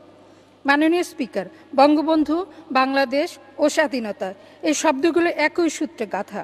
বাঙালির মুক্তি আর স্বাধীনতার জন্য আজীবন সংগ্রাম করেছেন বঙ্গবন্ধু। বাংলাদেশের কথা বলতে গেলেই প্রথমেই বলতে হবে জাতির জনক বঙ্গবন্ধু শেখ মুজিবুর রহমানকে। দেশের কথা, দেশে মানুষের কথা চিন্তা করে তিনি জীবনের যে ত্যাগ স্বীকার করেছেন, তা ইতিহাসে বিরল। আর এ কারণে মনে হয় কবি অন্নদা শঙ্কর রায় বাংলাদেশে অনেক আরেক নাম রেখেছেন মুজিবল্যান্ড জাতির জনক বঙ্গবন্ধু শেখ মুজিবুর রহমানের জীবনী ও তার আত্মত্যাগের কথা জানলেই আমরা বাংলাদেশের স্বাধীনতার ইতিহাস জানতে পারি। শোষক ও শোষিতের সংগ্রামে দেশের মুক্তিকামী মানুষকে ঐক্যবদ্ধ করতে বঙ্গবন্ধু পালন করেছেন এক ঐতিহাসিক ভূমিকা। পাকিস্তানের শাসকদের শৃঙ্খল থেকে তিনি জনগোষ্ঠীকে মুক্ত করতে চেয়েছিলেন। এই মুক্তির সংগ্রামে তিনি নিজের এবং নিজ পরিবারের জীবনকে তুচ্ছ ভেবে জনগণের পক্ষে দাঁড়িয়েছেন। কিশোর বয়স থেকে অন্যায়ের বিরুদ্ধে প্রতিবাদ জানিয়েছেন। বিশ্ব ইতিহাসে বঙ্গবন্ধুর মতো নেতা দৃষ্টান্ত বিরল। বিশ্বে তিনি একমাত্র নেতা যিনি জাতীয় পুঁজির আত্মবিকাশ ও বাঙালি সম্মিলিত মুক্তির বাসনাকে একই সুতায় বেঁধেছিলেন। মাননীয় স্পিকার, জাতির জনক বঙ্গবন্ধু শেখ মুজিবুর রহমান ছিলেন গণতন্ত্র বিকাশে মূর্ত প্রতীক। প্রতিটি গণতান্ত্রিক আন্দোলনে তিনি নেতৃত্ব দিয়েছিলেন। একাত্তরের সাথে মার্চ বঙ্গবন্ধুর ভাষণ ছিল বাংলাদেশের স্বাধীনতা যুদ্ধের ঐতিহাসিক দিক নির্দেশনা। যে ভাষণের মধ্যে দিয়ে তিনি নিরস্ত্র নিরীহ বাঙালিকে এক যোদ্ধা জাতিতে পরিণত করেছিলেন। মহান মুক্তিযুদ্ধের বিজয় অর্জনে ভূমিকা পালন করেছেন। মাননীয় স্পিকার, দেশকে ভালোবাসতেন বলে জাতির জনক বঙ্গবন্ধু স্বপ্নে দেখতেন ঐক্যবদ্ধ বাঙালি জাতির। অসাম্প্রদায়িক চেতনায় বিশ্বাস করতেন বলেই মানুষের ধর্মীয় পরিচয় থেকে সর্বদা প্রাধান্য দিয়েছিলেন বাঙালির সংস্কৃতি এবং মানব পরিচয়কে। মাননীয় স্পিকার, জাতির জনক বঙ্গবন্ধু শেখ মুজিবুর রহমান রবীন্দ্রনাথের সোনার বাংলা ধারণাকেই অন্তরে ধারণ করেছিলেন। তিনি মহান স্বাধীনতা অর্জনের পর যুদ্ধ বিধ্বস্ত দেশ পুনর্গঠনে দেশের মানুষকে সাথে নিয়ে এগিয়ে যাচ্ছেন। তিনি গড়ে তুলতে চেয়েছিলেন বাঙালির জন্য একটি সোনার বাংলাদেশ। মানুষের মৌলিক অধিকারগুলোতে সুপ্রতিষ্ঠিত করে দেশকে এগিয়ে নিতে চেয়েছিলেন। কিন্তু দুর্ভাগ্য সে মহান নেতার, দুর্ভাগ্য বাঙালির পঁচাত্তরে পনেরোই আগস্ট দেশীয় আন্তর্জাতিক ষড়যন্ত্রে সপরিবারে নিহত হন জাতির জনক বঙ্গবন্ধু শেখ মুজিবুর রহমান।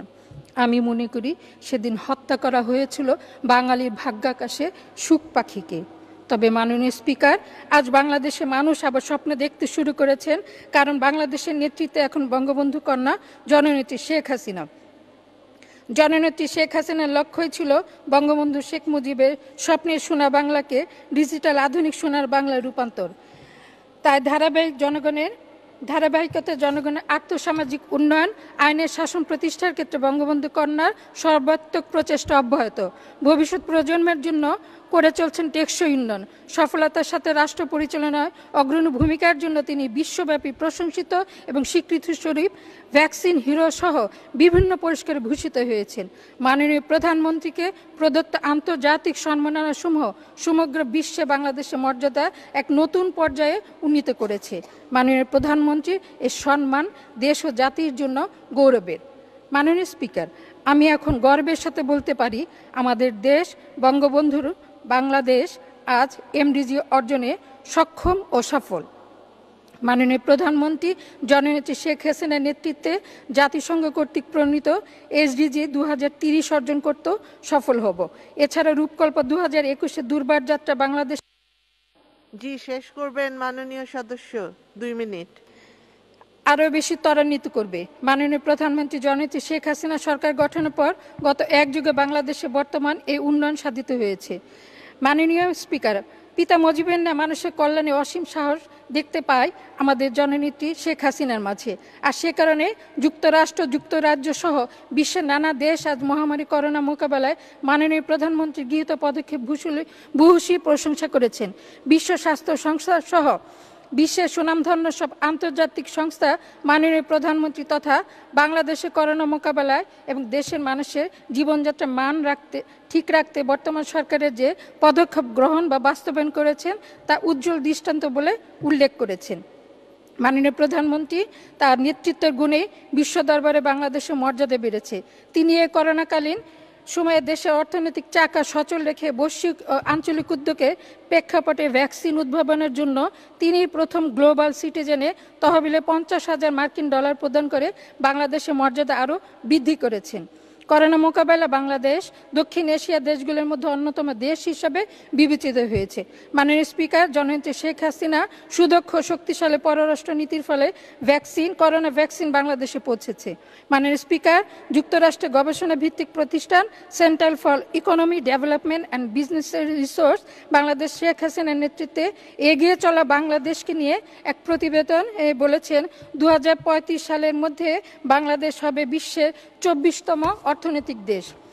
ভীষণ দু হাজার একচল্লিশ বাস্তবায়নের মাধ্যমে স্বাধীনতা সুবর্ণ জয়ন্তীতে জননেত্রী শেখ হাসিনার নেতৃত্বে এগিয়ে চলা বাংলাদেশ হবে একটি সুখী, সমৃদ্ধ, উন্নত সোনার বাংলা, বঙ্গবন্ধুর সোনার বাংলা।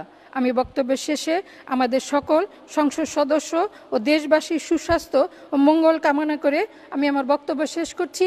জয় বাংলা, জয় বঙ্গবন্ধু। ধন্যবাদ, মাননীয় সদস্য। মাননীয় সদস্যবৃন্দ, মহামান্য রাষ্ট্রপতির ভাষণের উপর আনিত ধন্যবাদ প্রস্তাবের উপর আলোচনা আজকের মতো এখানেই শেষ হলো।